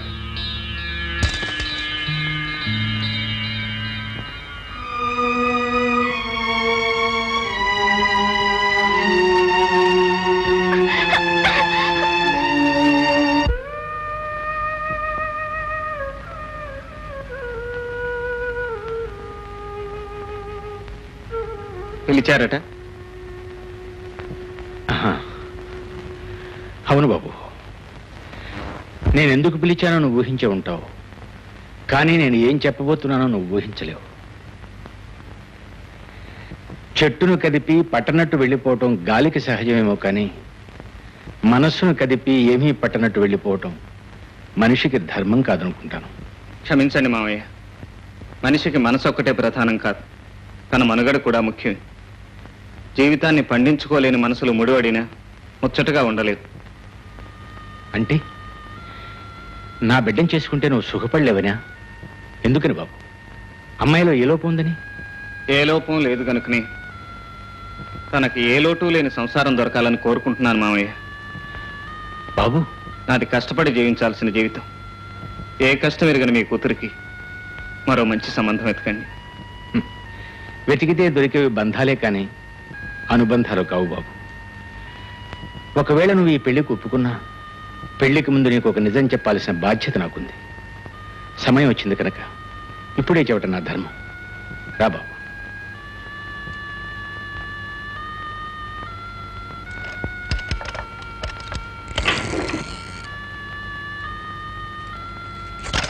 బాబు ఆపదలో ఉన్న వాళ్ళను అయిన వాళ్ళను ఆదుకునే బలహీనత నాకుందని నీకు తెలుసు. అందుకని అడిగిన వాడికల్లా లేదనకుండా అప్పులు ఇచ్చాను తిరిగి నిలదీసి వసూలు చేసే మనస్తత్వం నాది కాదు కనుక అన్నీ పోగొట్టుకున్నాను. ఇవిగో ఇవే కాలదోషం పట్టిన ఆ ప్రామిసరీ నోట్లు. ఇక ఊరుమ్మడి ఖర్చుల కోసం దాన ధర్మాల కోసం నేను అప్పులు చేయవలసి వచ్చింది. ఇవాళ ఈ ఆస్తి అంతా అమ్మిన అప్పులు తీరు ఇది ఈనాటి నా పరిస్థితి. ఈ విషయం అమ్మాయికి తెలిస్తే ఎక్కడ బాధపడుతుందోనని రహస్యంగా ఉంచాను. చూడు బాబు సవతి తల్లిని ఆమె పిల్లల్ని తోబుటూల కంటే ఎక్కువగా చూసుకునే నువ్వే. నేను తప్ప ఏ దిక్కులేని నా బిడ్డకు దిక్కు కావాలి. చెప్పు బాబు. అమాయకురాలైన నా బిడ్డకు తోడు నీడగా ఉంటానని ఒక్క మాట చెప్పు.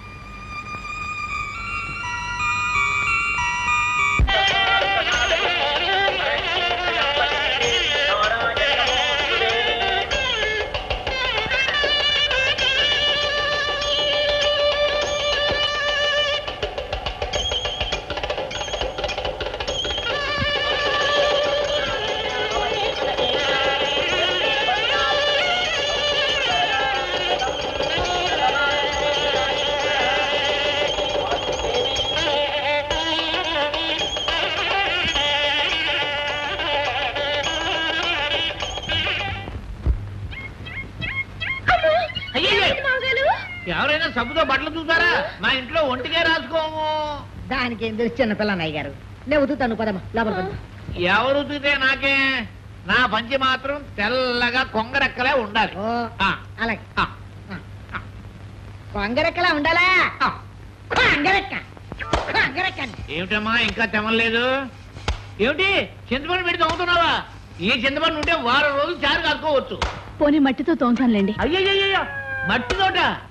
అరిగిపోతాయమ్మా నీ చేత్తో తమ్మి అలాగే మావయ్య.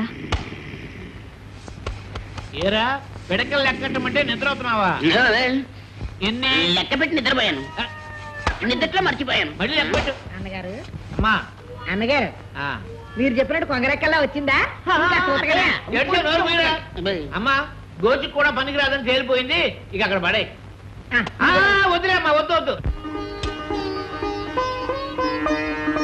అమ్మగారు అక్కడ పెట్టు. ఏమిటమ్మా ఇవన్నీ? ఏముంది అత్తయ్య? ఇది డైనింగ్ టేబుల్ అది సోఫా అది స్టీల్ సామాన్లు. ఎలా ఉన్నాయి? బాగున్నాయమ్మా. మీ నాన్నగారు పంపించారా. పది మంది వచ్చిపోయే ఇల్లు కదా. ఈ మాత్రం సామాన్లు లేకపోతే మీ అబ్బాయి గారి హోదా దెబ్బతింటుందని నేనే తెప్పించాను. మరి? అబ్బాయికి చెప్పే కొన్నావా? ఇవి మగవాళ్ళకి చెప్తే జరిగే పనులు కావత్తయ్యా. మనం చెప్పినా చూద్దాం చేద్దాం అంటారే గాని ససీమరా పట్టించుకోరు. ఆడవాళ్ళమే ఇంటి హంగు అలంకరణ చూసుకోవాలి. ఆ తర్వాత వాళ్ళు చూసి మురిసిపోతారు. కాదు. నీలాగా ఖర్చు పెట్టే భార్య ఉంటే భర్త మురిసిపోవటం కాదు. మూర్చిపోతాడు ఇందులో మూర్చిపోయింది ఖర్చు ఏమైందండి? ఇల్లానికి పూలు గాజులు ఎంత అవసరం? ఇంటికి సామాన్లు కూడా అంతే అవసరం. కావచ్చు. కానీ చేతులున్నాయి కదా అని మోచేతి వరకు గాజులు తొడగరు. అంత విపరీతంగా ఏం ఖర్చు పెట్టానండి? Dining table sofa set steel సామానేగా? ఏ? ఇప్పుడున్న కంచాలా తింటే తిండి వంట పట్టతానా కింద కూర్చుంటే నామోషేనా ఇప్పుడు ఎందుకు ఇంత దుబారా ఖర్చు చేయవలసి వచ్చింది? ఇంటికి అవసరమైన వస్తువులు కొనటం దుబారా అవుతుందన్న కొత్త విషయం తెలియక. ఇంటి మర్యాద కాపాడటం కోసం ఇల్లాలుగా నేను చేసిన పనిని మెచ్చుకుంటారనుకున్నానే గాని ఇంత ఆశయించుకుంటారనుకోలేదు ఇంటి మర్యాద ఇల్లాలను బట్టి ఉంటుంది పద్మ. ఇంట్లో ఉన్న వస్తువులను బట్టి కాదు.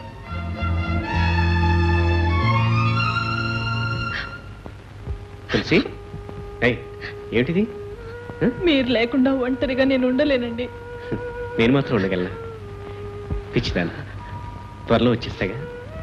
పోనీ ఈలోగా మీ పుట్టింట్లో ఉండరాదు వద్దండి వద్దు. దించుకున్న బరువును మళ్ళీ మా అన్నయ్య గుండెల మీద పెట్టలేను. అవును నాయనా ఆడపిల్ల అత్తింట్లో ఉంటేనే అందం. పుట్టింటికి వెళ్ళే రోజులు ముందు ముందు చాలా ఉన్నాయిలే. పోనీ ఓ పని చేయొద్దయ్యా. తులసికి వదిలికి నువ్వు తల్లిలాంటి దానివి నేను వచ్చేదాకా వీళ్ళిద్దరికీ అండగా నువ్వు మా ఇంట్లోనే ఉండు నువ్వు కూడా ఇక్కడే ఉన్నమ్మా ఎంచక్క రోజు తులసికి నాకు కుత్తులు పెట్టి మల్లెపూలు చల్లేద్దు గాని. అవునత్తయ్య. నువ్వు ఇక్కడ ఉంటే పూరి కూర మంచి వడలు అన్ని చేసి పెడతావు. మేము తింటాం. తింటారు రా తింటారు. ఊరు సొమ్ము ఊరగాయతో సమానం అని ఇది ఏమైనా సత్రం అనుకున్నారా మఠం అనుకున్నారా? కొంతకాలం పోతే సూరమ హోటల్ బోర్డు తీసి నా ఇంటికి కట్టి నా చేతికి చెప్పలు కర్ర ఇస్తారా? సూరమ నువ్వు బయటికి వెళ్ళమా ఇక. అత్తయ్య నేనే ఉండమన్నాను. ఉంటుంది ఇక్కడే. అదే మాట నేనున్నాను. ఎవరు? మీరెవరు అనడానికి మీరెవరు? ఎవరా? ఈ ఇంటికి వారసులు నా అల్లుళ్ళు కాబోయే యజమానులు. వాళ్ళు ఉండమన్నారు నేను ఉంటున్నాను. ఇదిగో సూరమ్మ. సూరమ్మల పేరమ్మల నూరుకో. ఇదిగో అల్లుడు ఈ ఇంటి కోటల మీద ఏగ వాళ్ళకన్నా చూసుకుని పూచిన అది నువ్వు పదయ్యా క్షేమంగా వెళ్ళి లాభంగా వద్దు కానీ పద. రా తమ్ముడు.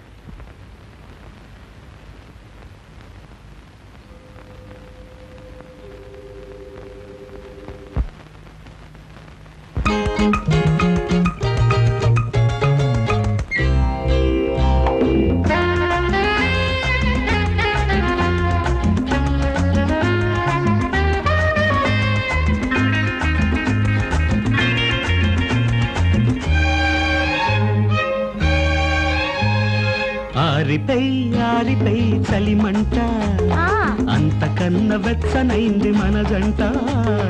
అంతకన్న వెచ్చనైంది మన జంట. కళ్ళ నిండ కోరికల కాకలున్నవి. ఒంటి నిండ వయసు సెగలు పాకుతున్నవి. ఆరిపై ఆరిపై చలిమంట. అంతకన్న వెచ్చనైంది మన జంట. అంతకన్న వెచ్చనైంది మన జంట.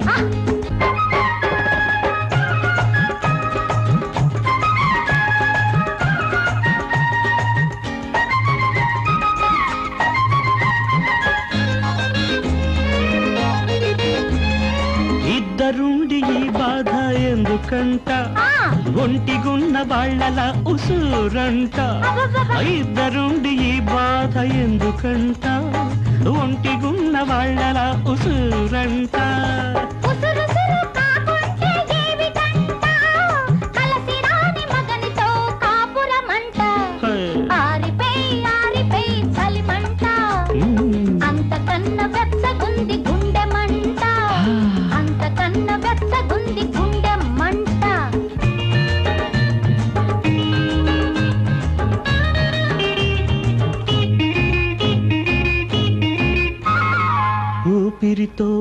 ఊపిరిని కలపమంట కలిపేస్తే రేపు మాపు తెలియవంట.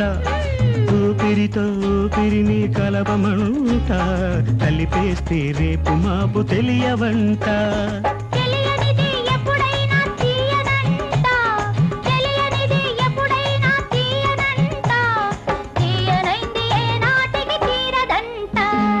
ఆరిపై ఆరిపై చలిమంట. అంతకన్న వెచ్చనైంది మన జంట అంతకన్నా వెచ్చనైంది మన జంట.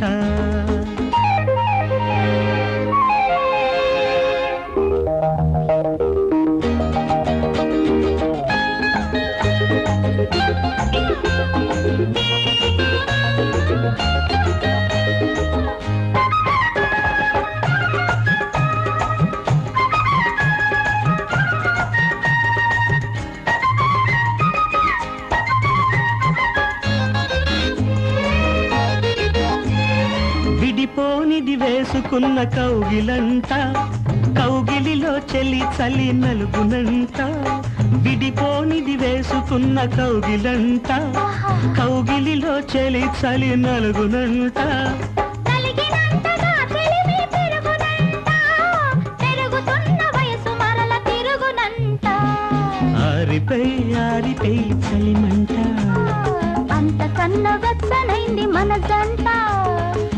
అంతకన్నా వెచ్చనైంది మన జంట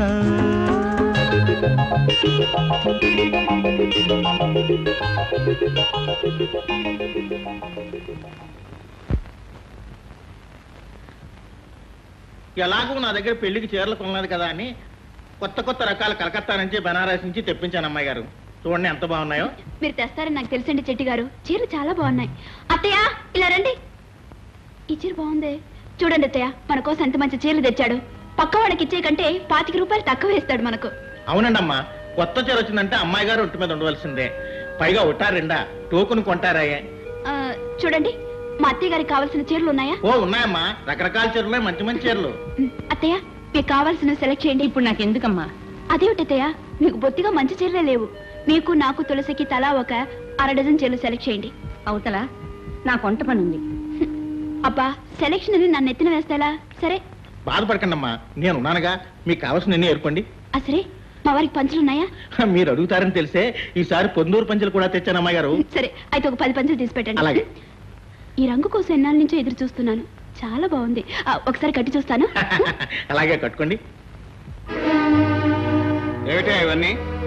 పద్మమ్మ గారు తలారుడు చీరలు తీయమన్నారండి. అలాగే మీకు ఓ పది పొందూరు పంచులు కూడా తీయమన్నారు. అలాగా? పద్మా?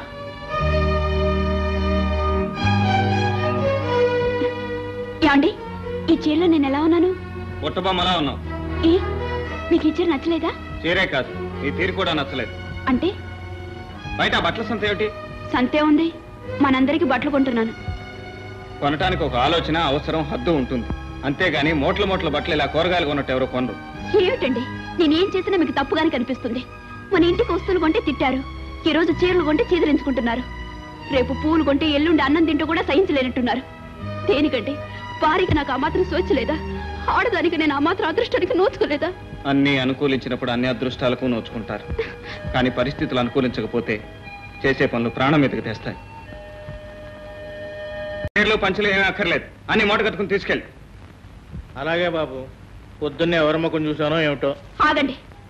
నాలుగైదు వేలు కానీ దడిస్తే నేను దడవను. కావాలంటే మా నాన్నగారి దగ్గర నుంచి తెచ్చి విసిరి పారేస్తాను గాని నేను సెలెక్ట్ చేసిన ఒక్క బట్ట కూడా మళ్ళీ మూట కట్టడానికి వీలేదు అమ్మా! నేను డబ్బులోనే పుట్టాను డబ్బులోనే పెరిగాను. డబ్బుకు వెనకాడను ఇలా ఎంతసేపు నిలబడాలి? ధర్మారావు గారిని పిలవండి. ఇల్లు వేలం వేయాలి. లోపలికి పిలుచురావా అమ్మో! ఆస్తున్నా లేకపోయినా ధర్మారావు గారు ధర్మారావు గారే. ఆయన వచ్చే వరకు నిలబడి ఉండాల్సిందే గానీ రమ్మని దమ్ములు ఎవరికి లేవే. అదండి ఊరి పరిస్థితి. ఏమైంది? ఏమైంది బాబాయ్? ఏముందమ్మా మీ నాన్న వెలగబెట్టిన దర్జ.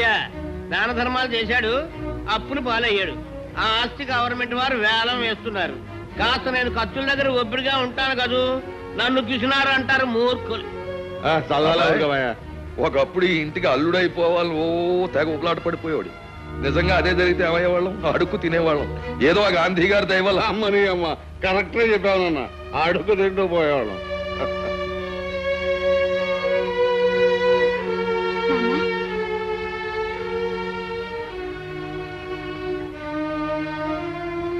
నాన్న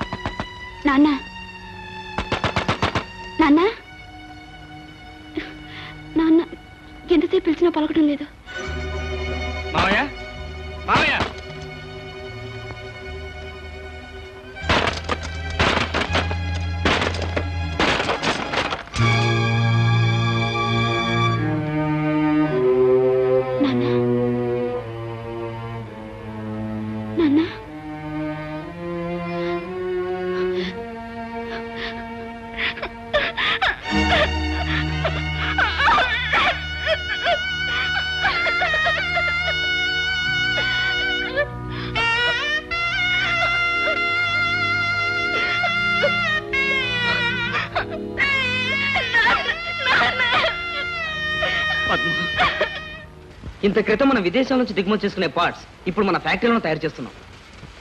నీ మీద నాకు ఆ నమ్మకం ఉండబట్టే నీకు ఇంత సహకరిస్తుంది. ఆ సహకారం నాకు ఇప్పుడు ఉండాలి. యూ డోంట్ వరీ ముందు ముందు చాలా విషయాలు ఉంటుంది.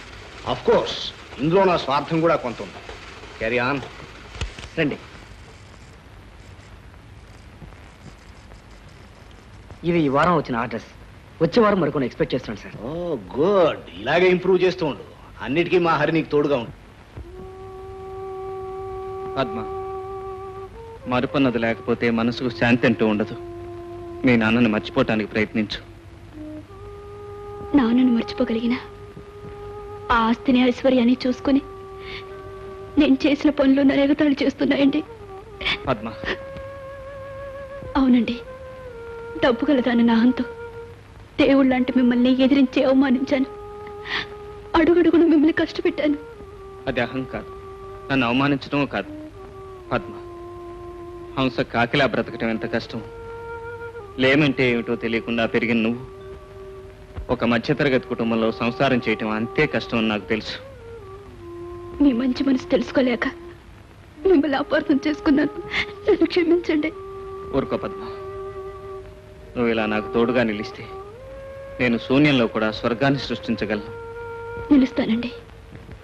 తోడుగానే కాదు. జీవితాంతం మీ నీడగానే నిలిచిపోతాను. పద్మ. అలాగే. Thank you good morning proprietor గారు. హాయ్ రేఖ ఏమిటి ఇలా వచ్చావు? మీరు ఇంటికి రావడం మానేస్తే నేను ఫ్యాక్టరీకి రావడం తప్పదు. ఏమిటి? ఈ మధ్య మీకు ఫ్యాక్టరీ తప్ప నేను గుర్తు రావడం లేదు. సారీ రేఖ వెయ్యి కళ్ళతో చూసుకుంటేనే వ్యాపారం. కాస్త రెక్కలు వచ్చేదాకా నన్ను మ్మ్, చాలా బాగుంది. మొన్నటిదాకా నన్ను నా కాళ్ళ మీద నిలబడనివ్వు అన్నారు. ఇప్పుడేమో రెక్కలు రానివ్వు అంటున్నారు. రేపు మీ చుట్టూడి బట్టతల ఎవరికి ఆగమంటారు? ఈ వ్యాపారం ఇలాగే సాగితే బట్టలు రావడానికి అట్టే కాలం పట్టచ్చేలేమా అంటే ఏమిటి నీ ఉద్దేశం? పంట పండించడాన్ని వ్యవసాయం అంటారు. డబ్బు పండించడాన్ని వ్యాపారం అంటారు. డబ్బు పండించడం ఎస్ ఉదాహరణకు నీ కంట్రోల్ రేట్లో స్టీల్ వచ్చింది. దాంతో వస్తువు చేసి పైసా రెండు పైసల లాభానికి అమ్మితే నీకు వచ్చేది ఏమిటి? కూల్ డబ్బులు తప్ప. అదే స్టీల్ కోటాలో సగం బ్లాక్ అమ్మి మిగతా దాని లెక్కలు సరిపోని చూపిస్తే నెలసరికి ముందే లక్షాధికారి కూర్చుంటావు. పోలీసులు పట్టుకుంటే భిక్షాధికారే జైల్లో కూర్చుంటారు. నోనో చెల్లెమా వ్యాపారానికి తారక మంత్రం. నీకెందుకు సుధాకర్? నువ్వు అను బ్లాక్లో కొంటానికి బోర్డు ఎంతమంది ఉన్నారు. హరి దయచేసి నాకు అలాంటి సలహాలు ఇవ్వకు. పద్మ మనిషిని నమ్మితే మన ముఖాన్ని ఇంత మట్టి కొడతాడు. ఈ మట్టిని నమ్ముకుంటే మన నోటికి ఇంత ముద్ద పెడుతుంది. ఈ బంజరు భూమి బంగారు భూమి కావాలని మనస్ఫూర్తిగా కోరుకుని కొబ్బరికాయ కొట్టు.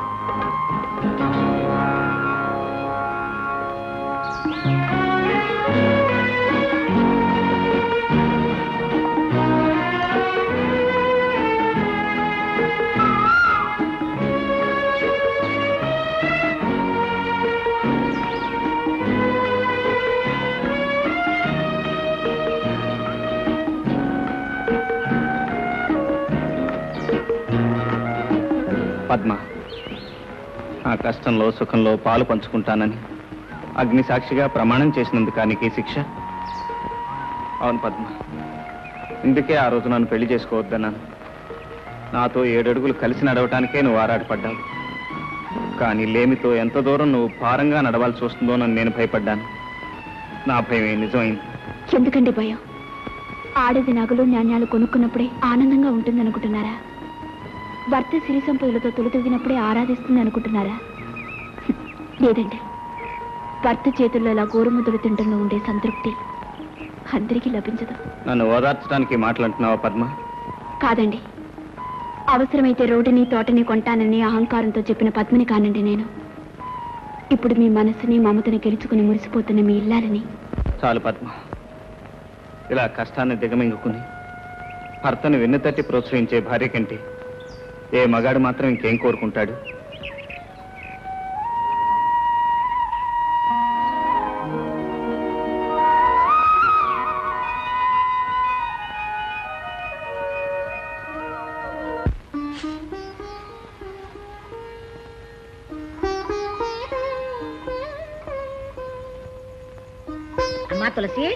తులసి, ఇదిగో నిమ్మకాయ పులిహార చేశాను నీకోసం అని.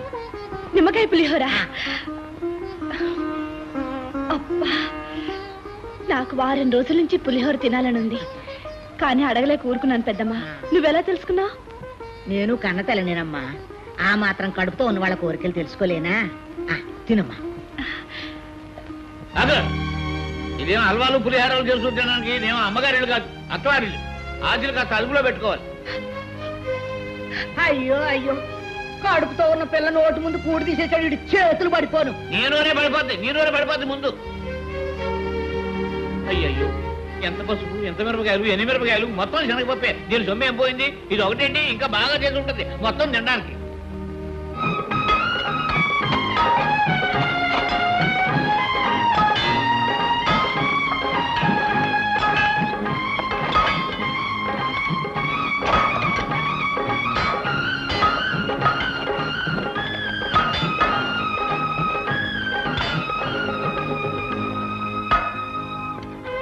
లాభం లేదండి. ఎంత తవ్వినా రాయి తప్ప జలపడేట్లేదు. నేను ఈ నేల తల్లిని నమ్ముకుని బతుకుతున్నవాడిని కన్న తల్లిలాగే ఇది బిడ్డను మోసం చేయదన్నానమ్మ అవును బాబు పట్నం వెళ్ళి డైనమైట్ పట్టరండి. జల ఎందుకు పడదో అప్పుడు చూద్దాం.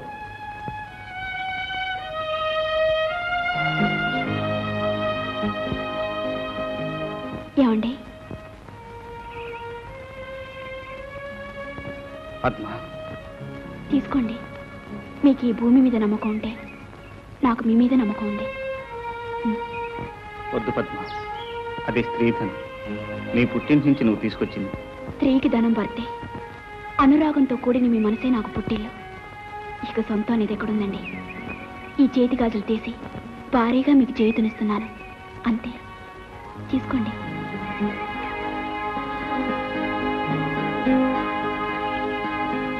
ఆలస్యం చేసినట్టున్నాను బాబు. అబ్బే లేదమ్మా. ఇప్పుడే పని ముగించుకుని పైకి వచ్చాం. ఏమో బాబు. ఆ నూతిలో కాసిన నీళ్ళు పడితే మనందరి కడుపుల్లో నాలుగు మెతుకులు పడ్డట్టే. బాబు రవి మన తులసికి సూడిదలు తీసుకెళ్ళాలి బాబు. అదేమిటయ్యా ఈ విషయం ఇంత మెలిగా నా చెప్పటం. నేను అమ్మమ్మను కాబోతున్నానని తీపి తినిపించి సంతోషంగా చెప్పాలి గాని. అదేమిటమ్మా? ఎందుకా కన్నీళ్ళు అవును నాయనా అమ్మమ్మనవుతున్నానని ఆనందపడినా మోసే ఎద్దు మీదే మోత బరువు పెడుతున్నానని బాధపడినా. అదేమిటయ్యా తులసికి సూడిదలు తీసుకెళ్ళటం మనకు భారం ఎలా అవుతుంది? అవునమ్మా. ఆస్తి పంపకాల్లో జరిగిన అన్యాయాన్ని మౌనంగా కన్నీటి చాటును దాచానే గాని నీకు న్యాయం చేశానా? రక్తం పంచుకు పుట్టినవాడు పట్నంలో తైతకలాడుతుంటే ఆస్తి ఇవ్వకపోయినా. రేయింబవళ్ళు కష్టపడుతున్న మిమ్మల్ని ఇంకా బాధించాలంటే ఆ తల్లి మనసు ఎంత విలవిల్లాడిపోతుందో ఆలోచించావా? మమతాన్ రాగాలు పంచుకోవటానికి ఒక తల్లి గర్భాన్నే పుట్టనక్కర్లేదమ్మా. తులసిని నా చెల్లెలుగానే కాదు. సొంత బిడ్డగా చూసుకుంటాను. రేపే పట్నం వెళ్ళి చీర సారే తీసుకొస్తాను. సూడిదలు తీసుకెళ్ళి తులసిని శ్రీమంతానికి తీసుకొద్దురు గాని. ఏమిటి ఎలా వచ్చారు? ఇంటికి తీసుకెళ్ళి శ్రీమంతం చేయాలనుకుంటున్నా. ఆహా, మీకు మర్యాదలు తెలిసే సూడిదలా మూడు చీర తమిడి సరివిడినా. ఇంతకంటే తేవడానికి అది ఎక్కడ ఉందిలే మీకు? బాబాయ్ అంత గతి లేని వాడుగా మాట్లాడకండి. ఏ రాష్ట్రం పొడుచుకొస్తుంది. చింత తెచ్చినా పులుపు తావలేదనేది ఇదే. లేనోళ్ళు లేనట్టుగా పడుండగా ఈ బ్యాషిజాలు ఎందుకు? అన్నయ్య శ్రీమంతానికి కావాల్సినవి సిరి సంపదలు కావు. కడుపులో పడ్డ పసిగుడ్డు. చిరంజీవి కావాలని చేసుకునే వేడుక. ఆ డబ్బు లేని వేడుకలు నేను చేస్తాను సారా. సరేలే తెచ్చింది తెచ్చారుగా ఇక వెళ్ళండి. ఎక్కడికయ్యా వెళ్ళేది? ఇందాక నుంచి చూస్తున్నాను. సూడులు తెచ్చిన ఆడాలని నిలబెట్టి మర్యాద అక్కడ మాట్లాడతావా? సూరమ్మ నేను మాట్లాడేది సూడుదలు వద్దని కాదు. తులసిని శ్రీమంతానికి పంపనండి. ఏ ఎందుకు పంపని శ్రీమంతం పేరుతో తీసుకెళ్ళి వస్తువులన్నీ ఒలిచి వాళ్ళ అవసరాలు తీర్చుకుని భోజపడితో తిరిగి పంపుతారు. అన్నయ్య. అన్న పిన్నయ్య అన్న జరిగేది అంతే మీరంతగా తీసుకెళ్ళాలంటే ఓ పని చేయండి. ఆ వస్తువులన్నీ తీసి అక్కడ పెట్టించి తీసుకెళ్ళండి. ఇంతకిన్ని నగలు పెట్టి మా మామగారు పంపించినా నేను రాను. తులసి! అవునమ్మా మావయ్య గారు చెప్పింది నిజం. ముమ్మాటికి నిజం. తులసి! అవును ఇక్కడ లేని ఆస్తి ఆప్యాయత అక్కడ ఏ ఉన్నాయని నేను రాను. మీరు తీసుకొచ్చిన చీర సారే కూడా తీసుకువెళ్ళిపోండి. శుక్రవారం పూట తెచ్చి నువ్వు తిరిగి నేను ఇవ్వను. అయ్యయ్యో ఈ అట్టుపోయి ఏ కొట్లో అమ్ముకు తస్తాడు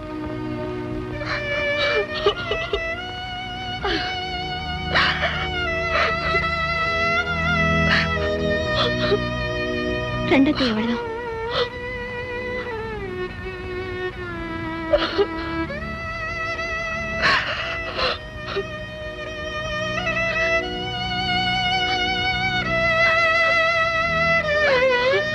అంత మాట అన్నాడా?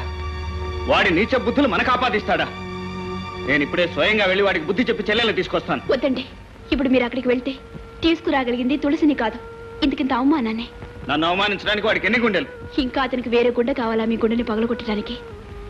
మీ చెల్లెలే తన మావయ్యని వెనకేసుకొచ్చి మమ్మల్ని తోడు అడితే ఏమిటి?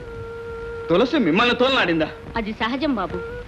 మెట్టినింటికంటే ఏ ఆడది పుట్టింటిని గొప్పగా చూసుకోదు. ఆడపిల్లనిచ్చుకున్న చోట ఇలాంటివి సహజం. పేదవాళ్ళ ప్రేమ కన్నీటి వరకు ఆగిపోవాలండి. పట్టుదలకపోతే మన ప్రేమ అనురాగాలే. ప్రేమించిన వాళ్ళ పట్ల తిరగటి రాళ్ళవుతాయి. అర్థమైంది పద్మ. ఇన్ని అవమానాలకు కారణం మన పేదరికమేనని. ఆస్తి అంతస్తు లేని వాళ్ళ మమత మానవత్వాలు పిచ్చి వాళ్ళ ప్రేలాపనే అవుతాయని పూర్తిగా అర్థమైంది.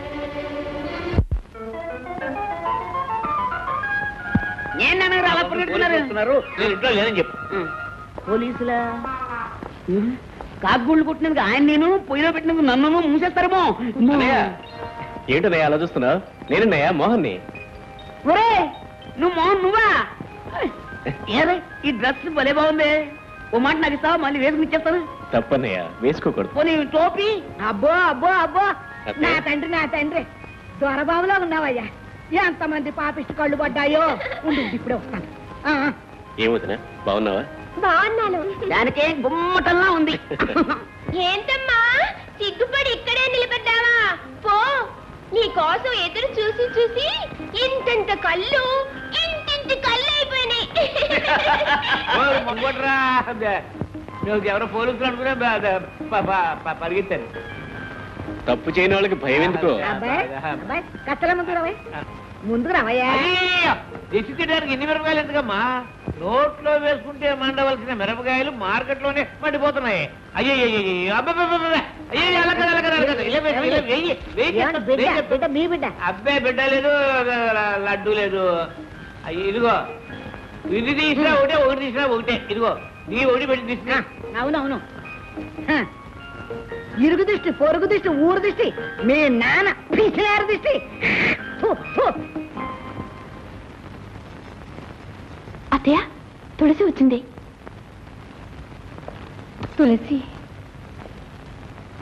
అమ్మా మిమ్మల్ని అవమానపరిచినందుకు నన్ను క్షమించండి అమ్మా.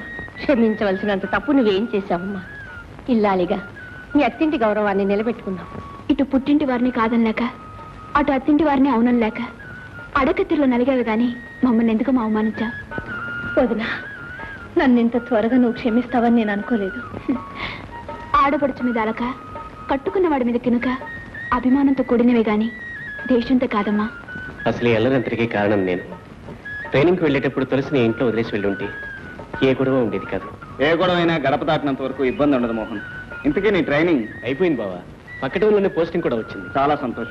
మరి ఎప్పుడు చేరుతున్నావు? మీ అందరూ ఆశీస్సులు తీసుకుని రేపే జాయిన్ అవుదాం అనుకుంటున్నాను. తులసిని కూడా తీసుకెళ్తున్నాను. శభాష్ మోహన్ రావు శభాష్ నువ్వు ఎస్తావయ్యావని తెలిసి నీ గురించి వెతుక్కుంటూ వస్తున్నానయ్యా. ఆ? మరి కాసులే కొడుకు. ఇతను కాపీ దాడని తప్ప ఎందుకు పనికిరాడు అనుకునేవాడిని. ఆ? మొత్తానికి ఒక హిస్టరీ తీసుకొచ్చావు. ఈ ఊరు నుంచి స్వతంత్రం కోసం దెబ్బలాడి జైలుకి హిస్టరీ నాకుంది. పోలీస్ ఆఫీసర్ అయిన హిస్టరీ నీకుంది.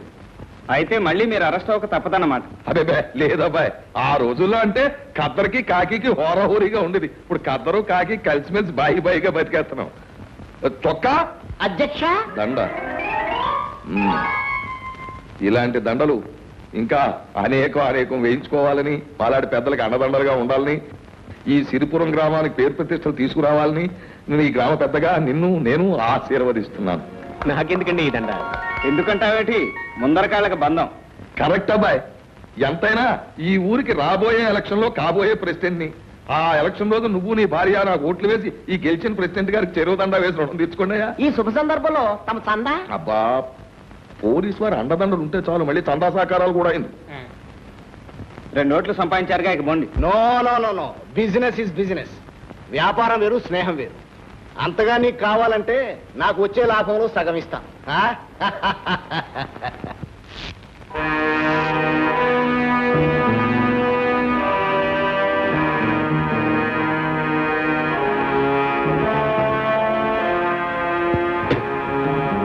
గత కొయ్యబారిపోయిన బిడ్డ.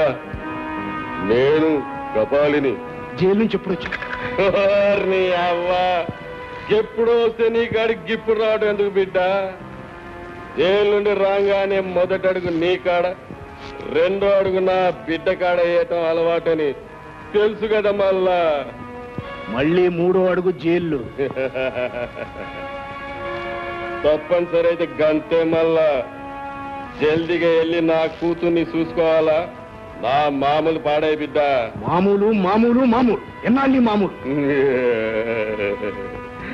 మనము మన మధ్య రహస్యం చచ్చే వరకు బిడ్డ. కపాలి. అంతే మళ్ళా నెత్తురు కూడు ఒక్కడే కూడకూడదు బిడ్డ. తోడున్నోడికి నందివ్వాల ఆ. ఇదిగో డబ్బు తీసుకో. మళ్ళీ రాకు. పుండుకు పుల్లా తప్పదు నీకు నేను తప్పదు. ఆ.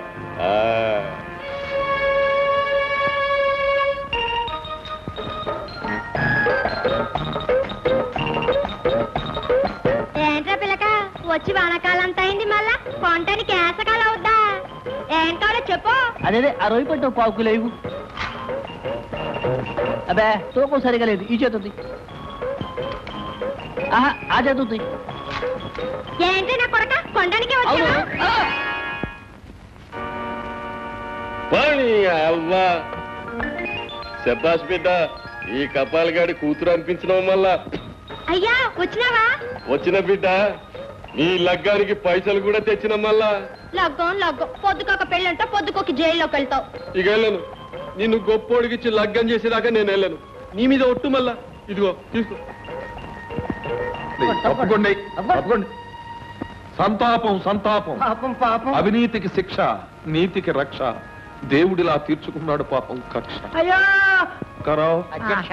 ఇది అదే. అంటే ఏమిటండి? పక్షివాతం పక్షులను పెట్టిన బాధలకు ఫలితం. నువ్వు ఊరుకోవయ్యా పెద్ద డాక్టర్ అయినట్టు. బాబు పక్షవాతానికి ఏదో పావురాలు ఎత్తుకు తాగాలంటారు? ఇదిగో స్వరమా.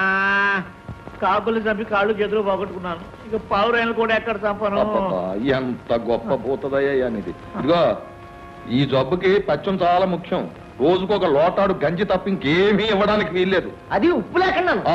చెప్పుతో ఆ, నీకు చెప్పులు కూడా ఎందుకయ్యా? మళ్ళీ లేచి నడుస్తావా ఉన్నానా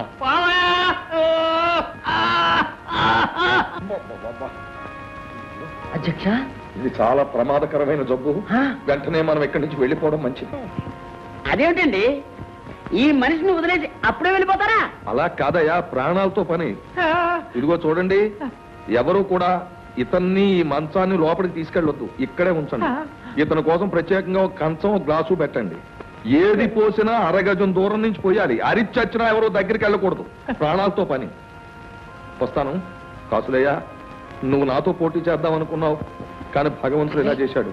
నేను ఏకగ్రీవంగా గెలుస్తాను. ఇదిగో నీ శిలా విగ్రహం ఊరి నడిబొడ్డున వేయిస్తాను. నువ్వు పోయాక. అధ్యక్ష ఇప్పుడైనా చందా ఇస్తాడేమో? వద్దు పదరా. చందా అడిగితే వెంటనే తెస్తాడు. పద. బాబోయ్ నేను ఇంకా చాలా కాలం బతకాలనుకుంటున్నాను. బాబా బాబా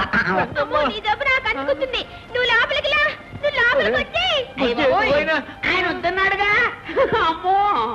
అమ్మో అమ్మో అమ్మో అమ్మో అమ్మో అమ్మో అమ్మో నన్ను ఇలా దిక్కులేని పక్షం చేస్తారా? ఆ తులసమ్మకి చేసిన అన్యాయానికి నాకు ఈ శిక్ష జరగవలసిందేరా? నాళ్ళు ధర్మరాజు లాంటి ధర్మారావు గారు మన ప్రెసిడెంట్గా ఉన్నారు కనుక మన పంచాయతీలు ఏ పొరుపెచ్చులు లేకుండా నడుపుకురాగలిగారు ఈసారి మీరు ఈ బాధ్యత వహించక తప్పదురా బాబు. ఈ పదవులన్నా రాజకీయాలన్నా నాకు గెట్టవు. కానీ గ్రామక్షేమం కోసం మీరు ఈ ఎన్నికల్లో నిలబడక తప్పదు. ఏట్లు నిలబడాలి? ఉరుగడా! ఏం తెలుసు మీకు రాజకీయం? మంచి చట్టాలు ఎక్కడన్నాను? బాబు రవి బాబు గాంధీ గారు మోహన్ చూసి మొట్టమొదట నీ ఇంటికి వచ్చి నీ కాళ్ళ మీద పువ్వులేసి మరీ అడిగాను. నన్ను సపోర్ట్ చేయమని. గొప్ప ఛాన్స్ వచ్చింది ఇవాళ నాకు. దేవుళ్ళు లాంటి ధర్మారావు బాబు గారు పోయారు. నాతో పోటీ చేయాలనుకున్న కాసులే మనసనబడ్డాడు అంచేత నువ్వు ఇప్పుడు నువ్వు అడ్డం తప్పుకుంటే నేను ఏకగ్రీవంగా ఎన్నికవుతాను. మన ఊరికి గవర్నమెంట్ బహుమతి ఇస్తుంది కొన్ని వేల రూపాయలు వస్తాయి. అంచేత నువ్వు సపోర్ట్ చేయి. ఈ ఒక్కసారికి మళ్ళీ నా ఛాన్స్ నాకు జన్మలో రాదు. నేనేం కావాలని కోరుకోవట్లేదు చందారావు గారు. ఈ ప్రజలే బలవంతం చేస్తున్నారు. అబ్బా ప్రజలకేటయ్యా? వాళ్ళకి ఏకగ్రీవంగా ఎలక్షన్ జరిగితే వాళ్ళకేం ఒరగదు. అని చేత మనలో మనకు పోటీ పెట్టేసి ఉభయల దగ్గర తినేసి మన ఎదవలు చేసేస్తారు. అది ప్రజలకు కావాల్సింది. అని చేత వాళ్ళ గొడవ నీకొద్దు. నీకేటయ్యా కుర్రోడివి. నీకు బోల్డ్ భవిష్యత్తు ఉంది. ఏదో ప్రెసిడెంట్ డిగ్రీ ఏంటి? ఎమ్మెల్యే అవుతావు ఆ తర్వాత మంత్రి కూడా అవుతావు. నా సపోర్ట్ నీకు ఉంటది కదా. పెద్దోడిని నా టైం అయిపోయింది. ఈ ఛాన్స్ నాకు మళ్ళీ రాదు. నాకు ఇచ్చేయి. పైగా ఇదే వ్యవసాయమా? నువ్వు జల్లేసే ఇత్తనాలకి పంట పండేసి ఇంటికి వచ్చేయడానికి. రాజకీయం. అంటే పెట్రోల్ కాదు నీళ్ళతో నిప్పెలిగించాలి కాళ్ళు పట్టుకుని తలకాయలు నరికేయాలి. కడుపులో కత్తులు పెట్టుకుని ఆప్యాయంగా కౌగులించేసుకోవాలి కాలువ మీద వంతుని కట్టడం కాదు ముందు వంతుని కట్టించి తర్వాత కాలువ తవ్వించాలి. ఇంత గొడవ ఉంది రాజకీయం అంటే. ఆయన మాట విని మమ్మల్ని అన్యాయం చేయకు బాబు. మీరే నిలబడాలి. మీరే నిలబడాలి. మీరే నిలబడాలి. సరే మీ ఇష్టం. ప్రజల మాట నేను కాదనలేను చందారావు గారు.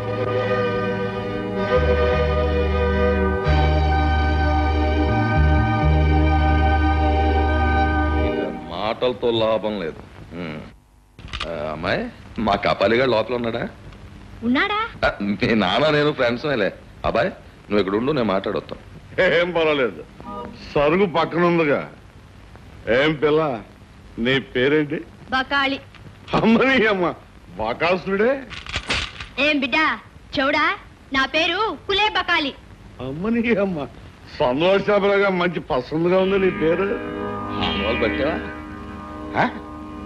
నేను పేదరావు చంద్రరావుని. చంద్రరావు నీ జైలు పేదరావు ఓరి ఓరి నీ ఎంత మారిపోయినావు బిడ్డ. కొంపదీసి మంత్రి గిట్ట కాలేదు కదా? లేదు బెదరు. మా ఊరు పంచాయతీ బోర్డు ప్రెసిడెంట్ కూడా కాలేదు. నువ్వు జైలు నుంచి విడుదలయ్యావని తెలిసింది? కొండంత ధైర్యం వచ్చింది. నువ్వు నాకు ఉపకారం చేయాలి బెదరు. నేనేం చేయగలను బిడ్డ? పీకలు తీయగలను కానీ పదవులు ఇప్పించగలను. అమ్మమ్మా, పీకిలికి పదవులకి కర్రకి జెండాకి ఉన్న సంబంధం ఉంది. నాకు సాయం చేస్తాను మాటి. ఆ తర్వాత సంగతి నేను చెప్తాను. చేద్దాం చెప్పు. ఈ మందులోకి ఒక శాపము గెంచి పెడతావేంటి వంగు నీ వీపు మీద వేయించి పెడతా. అమ్మ నీ అమ్మ. సరే చూడు మళ్ళా. ఆడు తవ్విన బావిలోనే గాడి శవాన్ని గక్కడే పూడ్చి పెడతా. నువ్వు వాడు అర్థం లేకుండా చేసి పెట్టు. నేను పంచాయతీ బోర్డు ప్రెసిడెంట్ అవుతాను. వాడు సమాధి మీదే పంచాయతీ ఆఫీస్ కూడా కడతాను. రే బోస్బాబు వస్తున్నాను. కాపాలి. నా సుపుత్రుడు. నమస్కారం. వారిని అవ్వ. చూడటానికి గండ్ర గండ్రలా ఉన్నాడు నీ కొడుకు. ఒక్కడిని కొట్టలేడా మళ్ళా? ఎందుకు కొట్టడు? రోజు ఐదారు సీసాలు కళ్ళు సారా కొడతాడు. అమ్మ నీ అమ్మ పరాయుడు ముందు కన్న కొడుకునే అమ్మానపరుస్తున్నాడు నీకు అసలు మాట్లాడే తెలియదు. పరాయోడా? మాట్లాడడం నేర్చుకో. వాడు పరాయోడా? నేను ప్రాణం ఏమంటే ఇస్తాడు నేను తీమన ప్రాణం తీస్తాడు. అంతే మళ్ళా. నువ్వు లేదు బెదరు.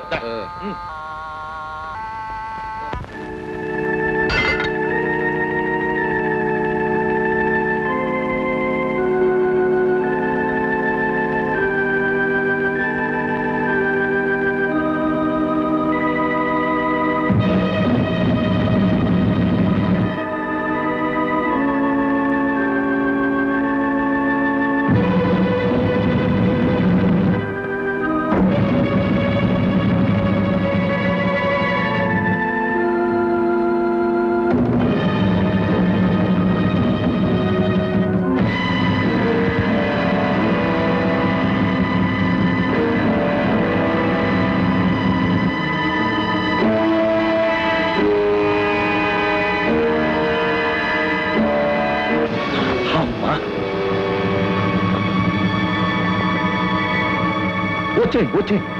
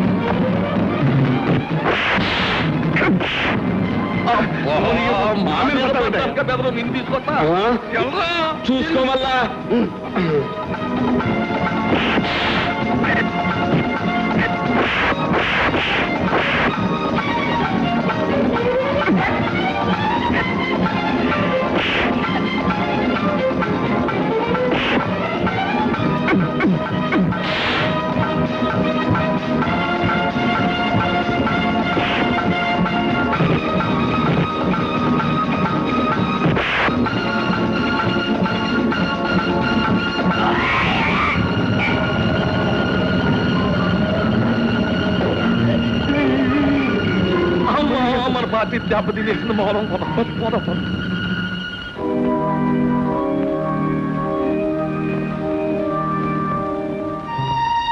అయ్యో ఏమిటండి? ఏమిటి రక్తం? ఏమీ లేదు పద్మ. అసూయ తన రంగు చూపించుకుంటే అభిమానం తన కొంగు చూపించింది. ఎందుకండి ఇలా మాయ మాటలతో నన్ను మోసం చేయాలని చూస్తున్నారు? ఈ పాడు భూమి మీ రక్త బలిదానం కోరి ఉంటుంది. పద్మ రైతు నమ్ముకునేది తల్లి ఒడిని చేలో మడిని. మీదంతా పిచ్చి భ్రమ. దీనికి మనసు లేదు. పొట్టి మట్టి. ఈ మట్టిలో పుట్టి మట్టిలో కలిసిపోయే మనం మట్టిని నిందించకూడదు పద్మ. తప్పు. ఏమండి? నా చేతులు కాయలు కాసిన. మీ కళ్ళల్లో పట్టుదల చూసి ఇన్నాళ్ళు ఆశతో బ్రతికాను. మీరు నమ్ముకున్న తల్లి గడుపు చల్లగా మన హాయిగా బ్రతకచ్చని కలలు కన్నాను. కానీ అది జరగదండి. ఇక జరగదు. తిని నమ్ముకుని బ్రతకడం కంటే పస్తు నుండి చావటం మేలు. అడుగు తిని బ్రతకటం మేలు. మన ఆశలకు ఆశయాలకు సమాధిగా తయారైన ఈ పాడు బావిని పూర్తి చేస్తానండి. పూర్తి చేస్తాను. నా తల్లి భూదేవి నువ్వు నమ్మటం లేదు కదూ? హృదయం లేనిదంటున్నావు కదూ? ఇప్పుడే నిరూపిస్తాను. నా తల్లి కనికరం లేకుండా గుండె మీద బండరాయిని అలాగే ఉంచుకుంటుందో? బిడ్డ మీద ప్రేమతో కడుపులో దాచుకున్న పాతాళ గంగను ఉరకలో పరుగులతో పైకి పంపిస్తుందో? ఇప్పుడే తేల్చేస్తాను.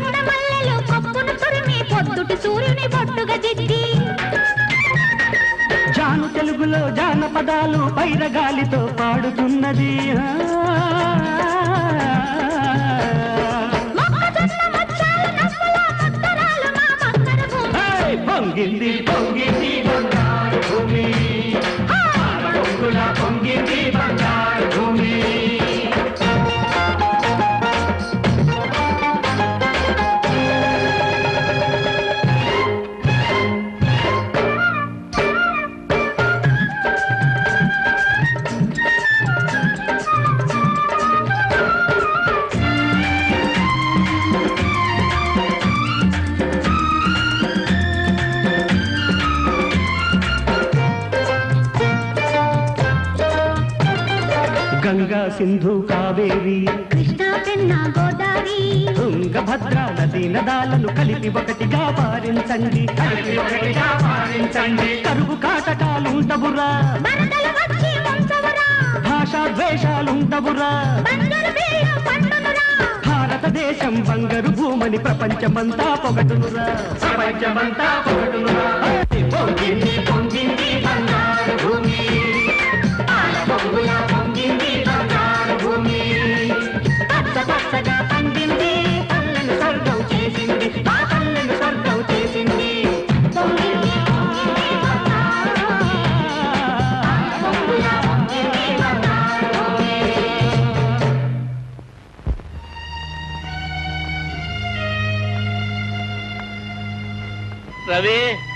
రవి. ఏమిటిది ఏమైంది నేను మంచాన పడ్డానని వీళ్ళు నన్ను సరిగా చూడటం లేదు. నువ్వేం భయపడకు మావయ్య. నేను నేను పట్నం తీసుకెళ్ళి బాగు చేయిస్తాను. వద్దు బా వద్దు. నాలుగు రోజులు బట్టి హాయిగా భోజనం చేస్తున్నావు. నువ్వు బాగు చేయించావు అనుకో మా కాళ్ళు ఏర్పడతాడు తప్పు అలా అనకూడదు. ఎంతైనా కన్న తండ్రి. పైగా జప్పండి మనిషితో పరాజకాలు ఆడకూడదు. అలా బుద్ధి చెప్పు బాబు. అమ్మా మావయ్య లోపల తీసుకెళ్ళి. నేను పట్నం వెళ్ళటానికి ఏర్పాట్లు చేసి వస్తాను. రండి బాబాయ్ లోపలికి రండి అన్నయ్య అమ్మా మీరు మనుషులు కాదమ్మా దేవతలు. మీకు నేను చేసిన అవమానానికి శిక్ష అనుభవిస్తున్నాను. నన్ను మన్నించండి అమ్మా. అయ్యో మీరు పెద్దవారు. అలా అనకూడదు బాబాయ్. ఇచ్చి పుచ్చుకున్న చోట అలాంటివి పట్టించుకోకూడదు. మర్చిపోండి అన్నయ్య. అవును బాబాయ్. ఈ స్థితిలో మీరు ఇవన్నీ గుర్తు చేసుకోవటం మీ ఆరోగ్యానికి అంత మంచిది కాదు. రండి. ఏమిటమ్మాయి ఆరు నెలల నుంచి చూస్తున్నాను. ఇదిగో అదిగో అంటావే తప్ప పైసా అద్దిచ్చిన పాపాను పోలేదు. క్షమించి పెద్దమ్మా. ఒక వారం రోజులు గడివివ్వండి. ఏదో పని చూసుకుని అద్దె మొత్తం ఇచ్చేస్తాను. ఆ ఇచ్చావులే. ఏదో ఆడపిల్లవి దిక్కులేని దానివి కదా అని ఆశ్రయం ఇచ్చినందుకు నాకు బాగా బుద్ధి చెప్పావు. నువ్వు? అద్దె ఇవ్వద్దు ఏమీ ఇవ్వద్దు. ముందు ఈ గది ఖాళీ చేయి. నాకు అదే పదివేలు. పెద్దమ్మా ఈ ఒక్కసారికి క్షమించండి. వారం రోజుల్లో ఇస్తాను.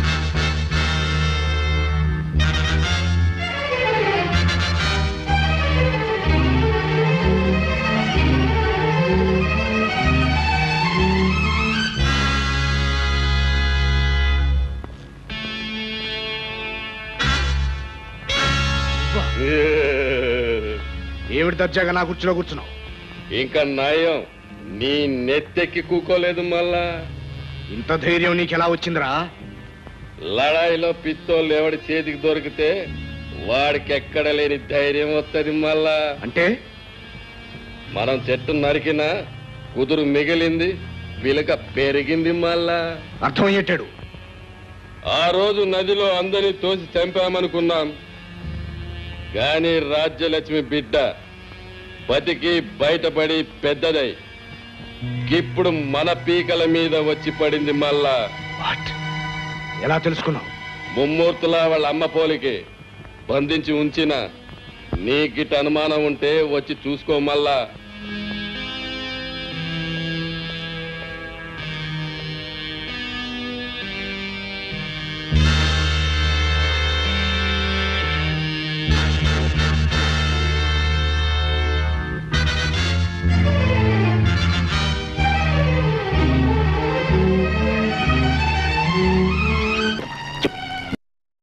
మీ అమ్మ నాన్న ఎవరు? నాకేం గుర్తులేదు. నా చిన్నతనంలో గోదావరి ఒడ్డున పడి ఉంటే ఎవరో తీసుకెళ్ళి అనాథాశ్రమంలో చేర్పించారట. అంతే నాకు తెలుసు. కనీసం నిన్ను చేర్చిన వారైనా నీకు తెలుసా? అది కూడా నాకు తెలీదు. ఎప్పుడు? నన్ను చూడటానికి కూడా ఎవరూ రాలేదు. నా మాట నమ్మండి. బాబుగారు దిక్కులేని దాన్ని. ఇప్పటికే అన్ని విధాలా మోసపోయిన దాన్ని. మీ బిడ్డలాంటి దాన్ని. ఈ పసికందు ముఖం చూసేనా? నన్ను వదిలేయండి బాబుగారు. లేమ్మలే. దిక్కులేని దానివన్నావుగా మేమే నీకు ఏదో ఒక దారి చూపిస్తాం. ధైర్యంగా ఉండు. అనుమానం తీరిందా బిడ్డ. నువ్వన్నట్టు ఈ అమ్మాయి రాజలక్ష్మి కూతురే. కానీ ఈ విషయం ఈ అమ్మాయికి తెలియదు. అదృష్టవంతులం. తెలియజేయడానికి నేనున్నాను కదా బిడ్డ. కపాలి. ఈ నేరంలో నీకు భాగం ఉంది. వారిని అవ్వ ఫలితంలో నాకు బాగోలేదు మళ్ళా. అది సరే. దీన్ని చంపడానికి నీకేం కావాలి? నాకేం అక్కర్లేదు. కాకపోతే నా కూతుర్ని నీ ఇంటికి కోడలుగా చేసుకోవాలి మళ్ళా. అర్చాక్ అల్లరైపోతావు. ఆ పిల్ల నా చేతిలో ఉంది. గుర్తు పెట్టుకో మళ్ళా. ఒరేయ్ నీకు నీకు కావలసినంత డబ్బిస్తారా? నీ బోడి పైసలు ఎవడు కావాలి? ఆ పిల్ల రాసి అని చెప్తే ఆస్తి దక్కుతుంది. ఆస్తి దక్కిందంటే నీకంటే ఎక్కువ పైసలు ఇస్తుంది మళ్ళా. మర్యాదగా నా కూతుర్ని నీ ఇంటి కోడలు చేసుకో. అయితే నాకు కొంత టైం ఇవ్వు. గడువు ఇస్తా కాని గడువులో నన్ను మోసం చేసి ఆ పిల్లని ఎత్తుకపోయినవో? నీ రక్తాన్ని సారాలో కలుపుతాంట మళ్ళా. అలాగే అలాగే అలాగే. ఇక గా పోరిని భద్రంగా చూసుకోండి మళ్ళా. ఇంకా ఎంతసేపు కూర్చోబెడతారండి? అసలు ఇంతకీ ఇక్కడ ఎరువులు ఉన్నాయా లేవా? నీళ్ళు బంగారంగాను. ఎరువులు కొట్లో ఎరువులు ఉండక చెరువులు ఉంటాయటయ్యా. హలో? ఆ? అలాగా? అయ్యా ఎరువులతో వస్తున్న లారీ చెడిపోయిందట. రేపు ఉదయం పది గంటలకు గాని ఎరువులు ఇవ్వలేం. ఈ సంగతి ముందన్నా తెలిస్తే మా ఊరన్నా వెళ్ళేవాడిని. ఇప్పుడు రైలు కూడా లేదు. సరే నా తిప్పలేదు నేను పడతాను కానీ రేపు ఉదయం పది గంటలకల్లా వస్తాను. ఎరువులు సిద్ధంగా ఉంచాను అలాగే.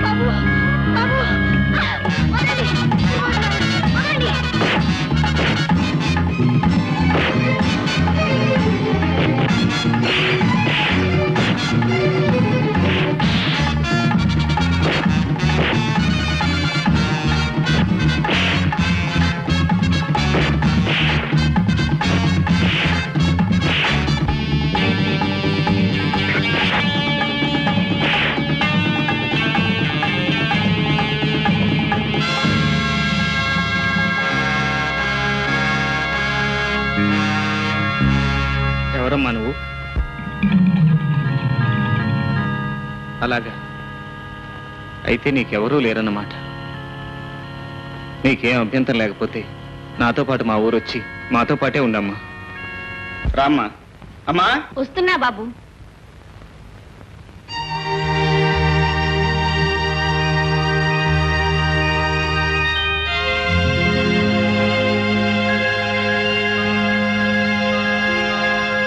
ఏమిటమ్మా అలా పొయ్యిబారిపోయావు ఈ అమ్మాయి నీకు ఇంత క్రితమే తెలుసా?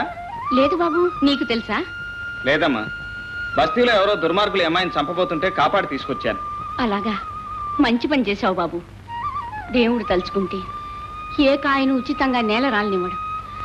అయిన వారి చేతికి అందజేస్తాడు. అయిన వారి చేతికా? ఆ, అదే బాబు. ఆదుకున్న వాళ్ళే అయిన వాళ్ళు. నీ పేరేమిటమ్మా? సుశీల. ఈ బిడ్డ? నా బిడ్డేనమ్మా. ఎవరత్తయ్యా? నీ ఆడబడుచు నీ అల్లుడమ్మా? ఆడపడిచా? అదేనమ్మా మీ ఆయనకి దేవుడిచ్చిన చెల్లెలు. అనాథం తెలిసి మనతో పాటే బతుకుతుందని తీసుకొచ్చాను పద్మ. మరి బాబు నాన్నగారు? ఏమిటి ఆ ప్రశ్న? అనాథం చెప్పానుగా? మనమంతా ఉండగా అనాథ ఎలా అవుతుంది బాబు? రామ్మ లోపలికి రా. రండి. ఏమిటి?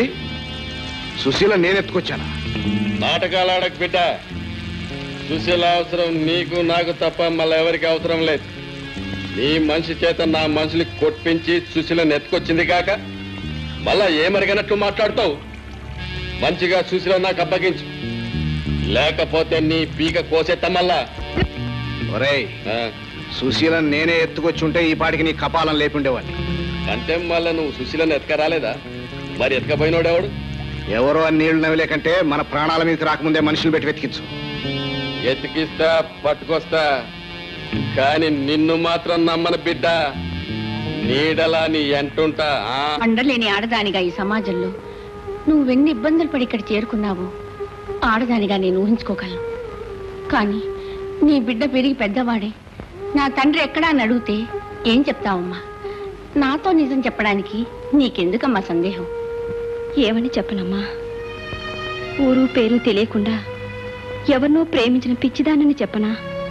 గర్భిణి అని తెలియగానే ఆ దుర్మార్గుడు పారిపోతే వెతికి వెతికి వేశారని వెర్రిదానని చెప్పనా? చిన్నప్పుడే తల్లిదండ్రులను పోగొట్టుకున్న అనాథను.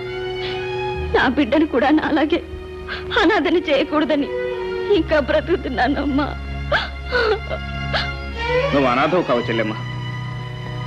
అన్నయ్య? ఏ రోజు నువ్వు నా కంటపడ్డావో ఆ రోజే నా చెల్లెలు అయ్యావు. దేవత లాంటి ఈ తల్లి దీవెన అందుకున్న క్షణంలోనే నువ్వు ఈ ఇంటికి ఆడపడుచు అయ్యావు నేను మోసగించిన వాడెవరో చెప్పలేకపోయినా కనీసం నేను చంపడానికి ప్రయత్నించిన వాళ్ళెవరో చెప్పగలవా? నన్ను వాళ్ళు ఎందుకు చంపాలని ప్రయత్నించారో నాకు అర్థం కాలేదు. కానీ నన్ను బంధించిన వ్యక్తి నువ్వు కాక నీ వాళ్ళు ఇంకెవరు బ్రతికి ఉన్నారో చెప్పమని చిత్రహింసలు పెట్టాడు. ఆ వ్యక్తి ఎవరో చెప్పు. వాడిని బట్టేనా నిజం తెలుసుకుంటాను. అతనెవరో నాకు తెలియదు మిస్టర్ సుధాకర్ కోటాలో వచ్చిన స్టీల్ బ్లాక్లో అమ్మినట్టు రిపోర్ట్ వచ్చింది. అందువల్ల నేను అరెస్ట్ చేస్తున్నాను. మోహన్ స్టీల్ నేను అమ్మలేదు. గోడౌన్స్లో ఉండవలసిన స్టాక్ కనపడకపోతే నేనే రిపోర్ట్ చేద్దాం అనుకున్నాను. ప్రతి బ్లాక్ మార్కెట్ హీరో చెప్పే మాట ఇది. మోహన్ నువ్వు నా మాట నమ్మలేవా? బంధువుగా నమ్మగలను కానీ పోలీస్ ఆఫీసర్గా నమ్మలేను నిన్ను అరెస్ట్ చేయక తప్పదు. కానిస్టేబుల్స్? ఏమిటి? మీ నాన్న మీ అన్నయ్య ఇంత ద్రోహం చేశారా? నేను బ్రతికుండగా నా తమ్ముడికి అన్యాయం జరగటానికి వీల్లేదు. పదరేఖ. బాబు ఆగు. మనల్ని కాదనుకుని వెళ్ళిన వాడు మనవాడు కాదు.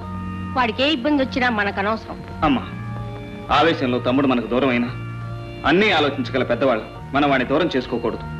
తనకై తన తప్పు తెలుసుకునే వరకు మన మంచితనం చేతకాంతనంగానే కనపడుతుంది బాబు. ఇంకా ఏం తెలుసుకోవాలమ్మా?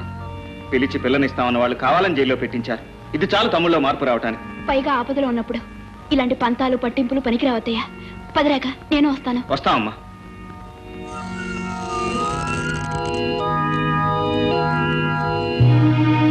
నన్ను క్షమించండి అయ్యా. తమ్ముడు అవేం మాటలు? మారుటన్నవని నిన్ను అవమానించి వెళ్ళి ఆ మృగాల బొమ్మలో పడ్డాను. వాళ్ళు చేసిన నేరాలు నా నెత్తిన తోశారు. అంతా విన్నాను. వాళ్ళ సంగతి నేను తెలుస్తాను రేఖ. నా వాళ్ళు ఇంత కిరాతకులని నాకు తెలియసుదా నన్ను క్షమించు. సుధాకర్ నువ్వు ఈ నేరం చేయలేదని నాకు తెలిసినా నిన్న ఆ ప్రాంతం నుంచి తప్పించకపోతే ఇంకా ఎక్కువ ప్రమాదం జరగొచ్చని నిన్ను అరెస్ట్ చేశాను. నన్ను అపార్థం చేసుకోగదు ఏం అర్థం చేసుకుంటేనే అన్నదమ్ములు కలిశారు. ఇక ఏ అపజయము ఉండదు. బాబాయ్ ఇప్పుడు మీ ఆరోగ్యం ఎలా ఉంది? రవి పుణ్యం అంటూ బాగుపడ్డానమ్మా. ఒంటితో పాటు బుద్ధి కూడా బాగుపడింది. నాలుగైదు రోజుల్లో మన ఊరు వచ్చేసి నేను తాగట్టు పెట్టుకున్న సామాన్లన్నీ ఎవరిది వారికి ఇచ్చేసి అందరికీ దండం పెడతానమ్మా. ఏమండి? అక్కడ అత్తయ్య కంగారు పడుతుంటుంది. రండి వెళదాం. ఒరే ఒరే ఒరే ఏడోకరా ఏడోకు బాబు. ఊరుకో ఊరుకో ఊరుకో. అమ్మా సుశీల త్వరగా పాలు తీసుకోరా. వస్తున్నానమ్మా.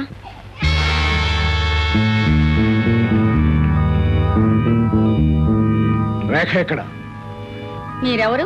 రేఖ తండ్రి హరిశ్చంద్రరావు గారు. ఓహో అలాగా. రేఖ ఇక్కడ లేదు.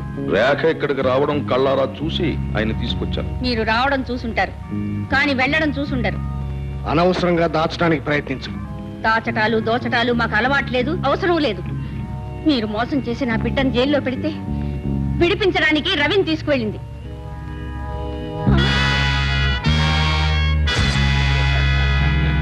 అమ్మా వీళ్ళేనమ్మా నన్ను బంధించింది. అలాగా. కపాలి. దీన్ని రెక్కలు విరిచి తీసుకువెళ్ళి కారులో పడి వీల్లేదు. సుశీల నా బిడ్డ. నీ అవ్వ. ఎవరి బిడ్డ నీకంటే ఎక్కువ నాకే తెలుసు మళ్ళా! సుశీల!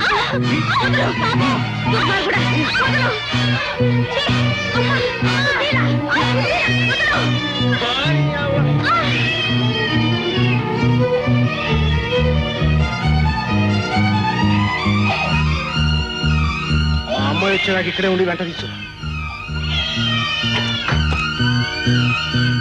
పోనీ.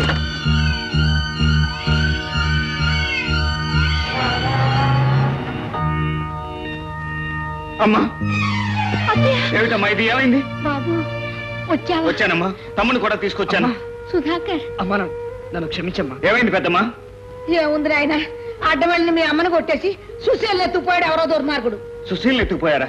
సుశీల ఎవరో కాదు బాబు. నీ రక్తం పంచుకు పుట్టిన చెల్లెలు. ఏమిటమ్మా?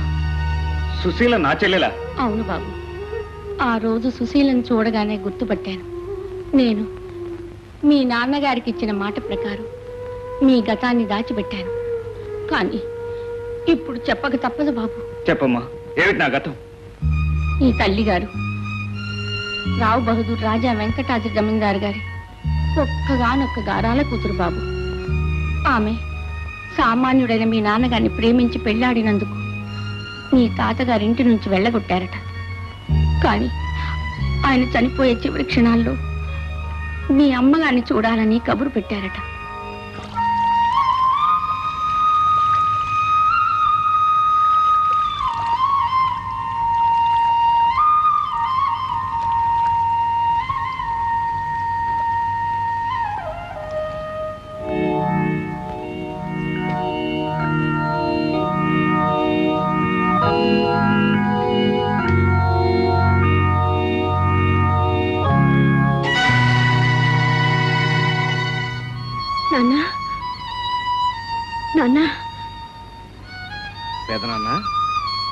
పెదనాన్న చెల్లెమ్మ వచ్చింది.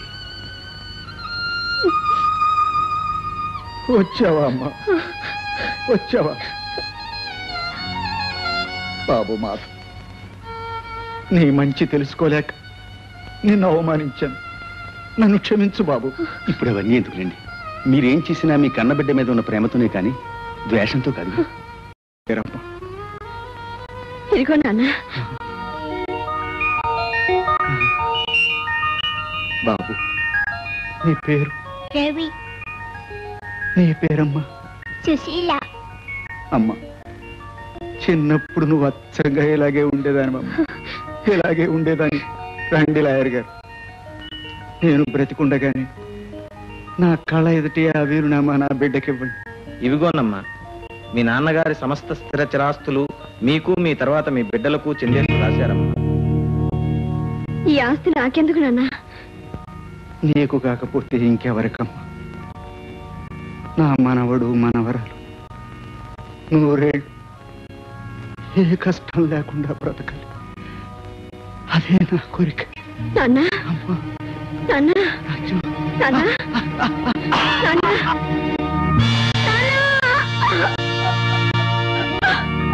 కమాన్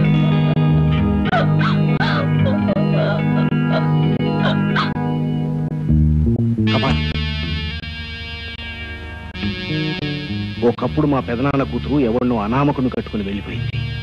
ఇన్నాళ్ళు ఆ ఆస్తిని ఐశ్వర్యాన్ని నేను అనుభవించాను. హఠాత్తుగా తన కూతురును పిలిపించి ఆస్తి అంతా దాని పేరు మీద రాశాడు. ఆ ఆస్తిలో చిల్లి గవ్వ కూడా నాకు దక్కదని తేలిపోయింది. రేపు వాళ్ళిద్దరూ కలిసి ఊరు బయలుదేరుతున్నారు. దారిలో వాళ్ళందరినీ సర్వనాశనం చేయాలి. అందుకు నీ సహాయం కావాలి. గదంత పని గట్టగా చేత మళ్ళా వస్తా ఉన్నాయా పెదనాన్నగారు పోయి వారం తిరగకముందే మీరు ఇలా బయలుదేరటం. హఠాత్తుగా బయలుదేరి రావడం వల్ల అక్కడ పనులన్నీ ఆగిపోయాయి. ఒక్కసారి వెళ్ళి పది రోజుల్లో వచ్చేస్తా ఉన్నాయా వస్తాను బావా. నేను వస్తాను. మిమ్మల్ని స్టేషన్ దాకా సాగనంపుతాను. పదండి.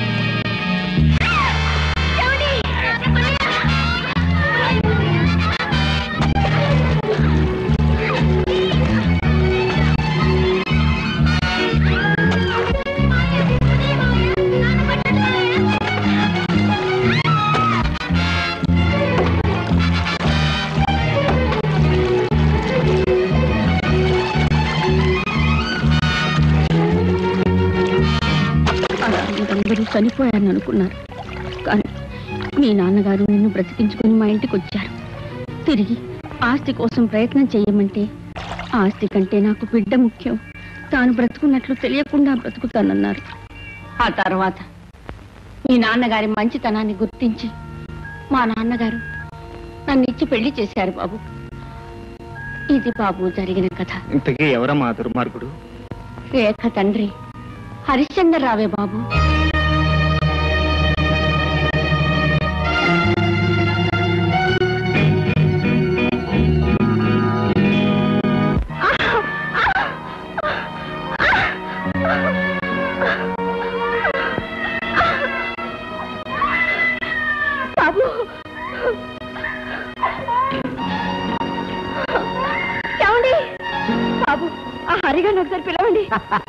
పిలిస్తే వచ్చే సమయం కాదమ్మా ఇది. హరికి మా గురువు గారు కపాళి గారు అమ్మాయికి పెళ్ళి జరగబోతుంది.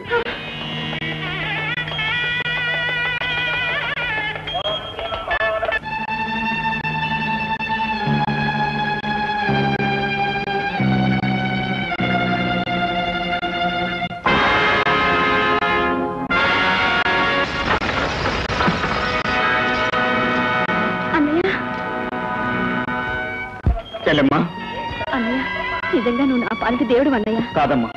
నువ్వు నేను ఒకే రక్తం పంచుకు పుట్టిన అన్నా చెల్లెలు. అన్నయ్య. అవునమ్మా. ఈ ఇల్లు మన పుట్టిల్లు. ఇప్పుడు ఇంట్లో ఉంటున్నవాడు మన తల్లిని చంపి మనల్ని చెల్లాచెదరు చేసి మన ఆస్తి అనుభవిస్తున్న దుర్మార్గుడు. అలాగా. నన్ను మోసం చేసిన నా బిడ్డ తండ్రి కూడా ఈ ఇంటి యజమాని కొడుకేనన్నయ్య ఎవరు? హరిబాబా? అవును. అతను ఇప్పుడు మరో పెళ్ళి చేసుకోబోతున్నాడు.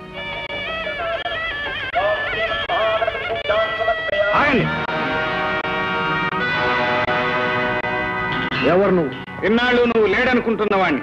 అంటే? నువ్వు అనుభవిస్తున్న ఈ ఆస్తి కోసం. నువ్వు పేర్చిన నీళ్ళ చితి నుంచి బయటపడి నెత్తురు నిప్పైన వాణ్ణి నీ తలకొరే కావలసిన వాణ్ణి. నువ్వు ఎవరితో ఎక్కడుండి మాట్లాడుతున్నావో తెలుసా? తెలుసు. నేనెవరన్నా తెలిస్తే నువ్వు గుండాకి చస్తావు. అంత పిరికి వాళ్ళు ఎవరు లేరు ఇక్కడ. నువ్వు సుధాకర్కి మారుటనమని మాకు తెలుసు. అంతవరకే నీకు తెలుసు. కానీ నీ మాటలు నమ్మి నీవు కట్టిన తాళికి తల వంచి నీ బిడ్డకు తల్లైన సుశీల తోడపుట్టిన అన్నయ్యన సంగతే నీకు తెలియదు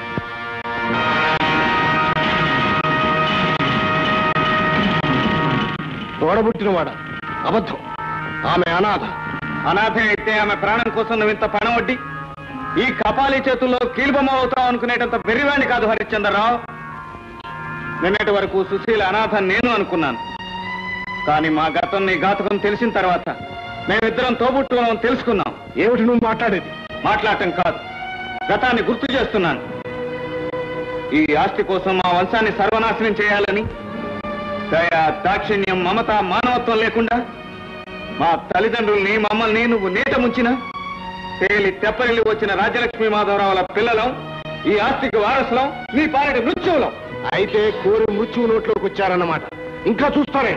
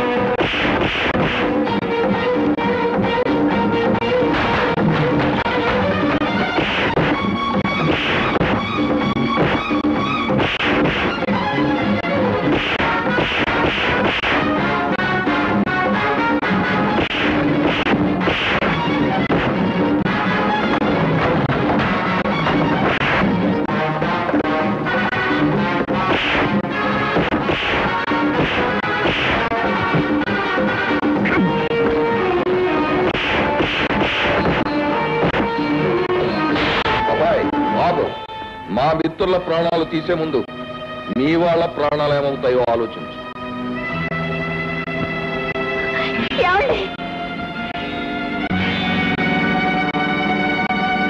చూస్తానే పట్టుకోండి. ఏమనుకోకురా అబ్బాయి ఇదో చిన్న రాజకీయం. నీ గతం గురించి మీ అమ్మగారు చెప్పడం విన్నాను. సరే నువ్వు ఎలాగో రూలింగ్ పార్టీ మీదకి అపోజిషన్ లీడర్లా మా మిత్రుల మీదకి ఎగబడతావని తెలిసి ఈ ఆడంగుల్ని పావులుగా తీసుకొచ్చానంతే దుర్మార్గుడా మమ్మల్ని మగాడిలా సాధించలేక ఆడాలను అడ్డం పెట్టుకొస్తావా? కుర్రతనం. ఏ పని సాధించాలన్నా ఆదిలోనో అంతంలోనో ఆడదాని అవసరం ఉంటుంది నాయన. చెప్పాస్ బిడ్డ జైల్లో దోస్తి జన్మాంతం ఉంటుందని రుజువు చేసిన మళ్ళా? వీళ్ళని తీసుకెళ్ళిగా దంబాలకు తాళతోటి కట్టండి మళ్ళా?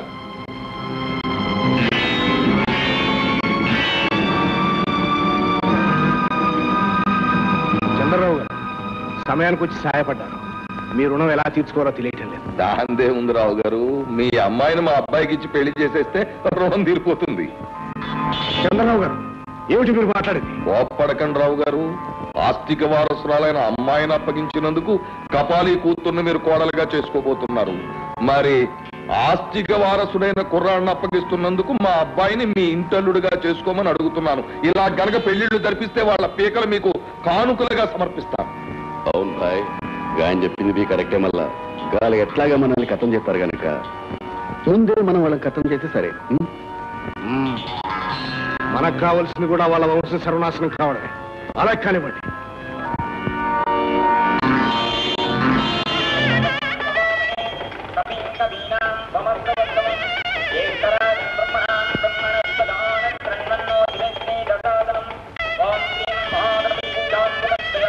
మంత్రి గారు ఏదో గబగబా తంతు నడిపే తాళి కట్టించేయండి. తొందరగా కానీ అంటా పెట్టినా ఇన్నాళ్ళు పెళ్ళి దొరుకుతుంటే. మంత్రులు గారు ఆలస్యమైనా పర్వాలేదు మంత్రాలు నీ గట్టిగా చదవండి. ఉం.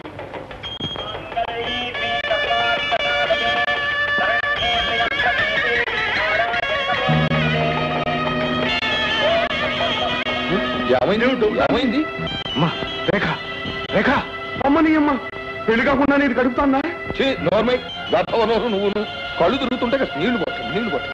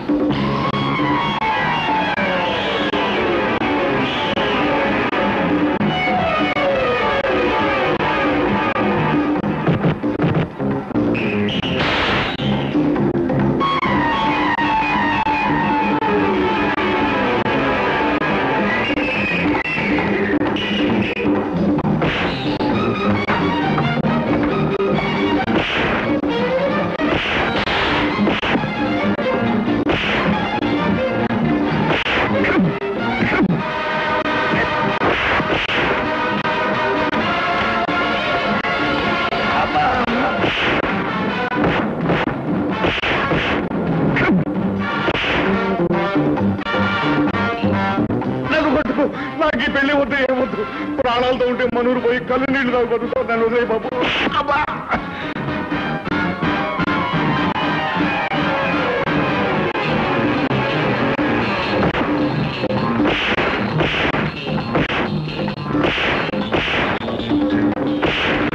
తమ్ముడు!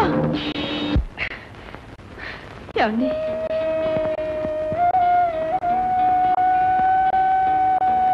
ఇప్పటికైనా అర్థమైందా? నువ్వు తాళి కట్టి మోసం చేసినా రోజు జాలిపండి ప్రాణం కాపాడి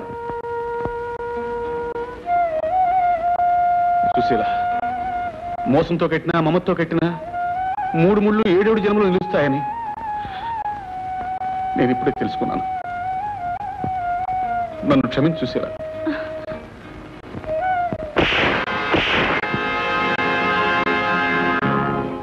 మనిషికి చివరికి మిగిలే ఆస్తి ఆస్తికి లేనని తెలియని రాక్షసులారా మనుషులు బ్రతికే ఈ సమాజంలో బ్రతికే అర్హత మీకు లేదు. చావండి ఆగండి. హంతకుల్ని చంపి నువ్వు హంతకుడికి కావచ్చు. దుర్మార్గులారా మనిషి అన్నవాడు బ్రతికి బ్రతికించాలి గాని చంపి బ్రతకాలని చూడకూడదు. Constables arrest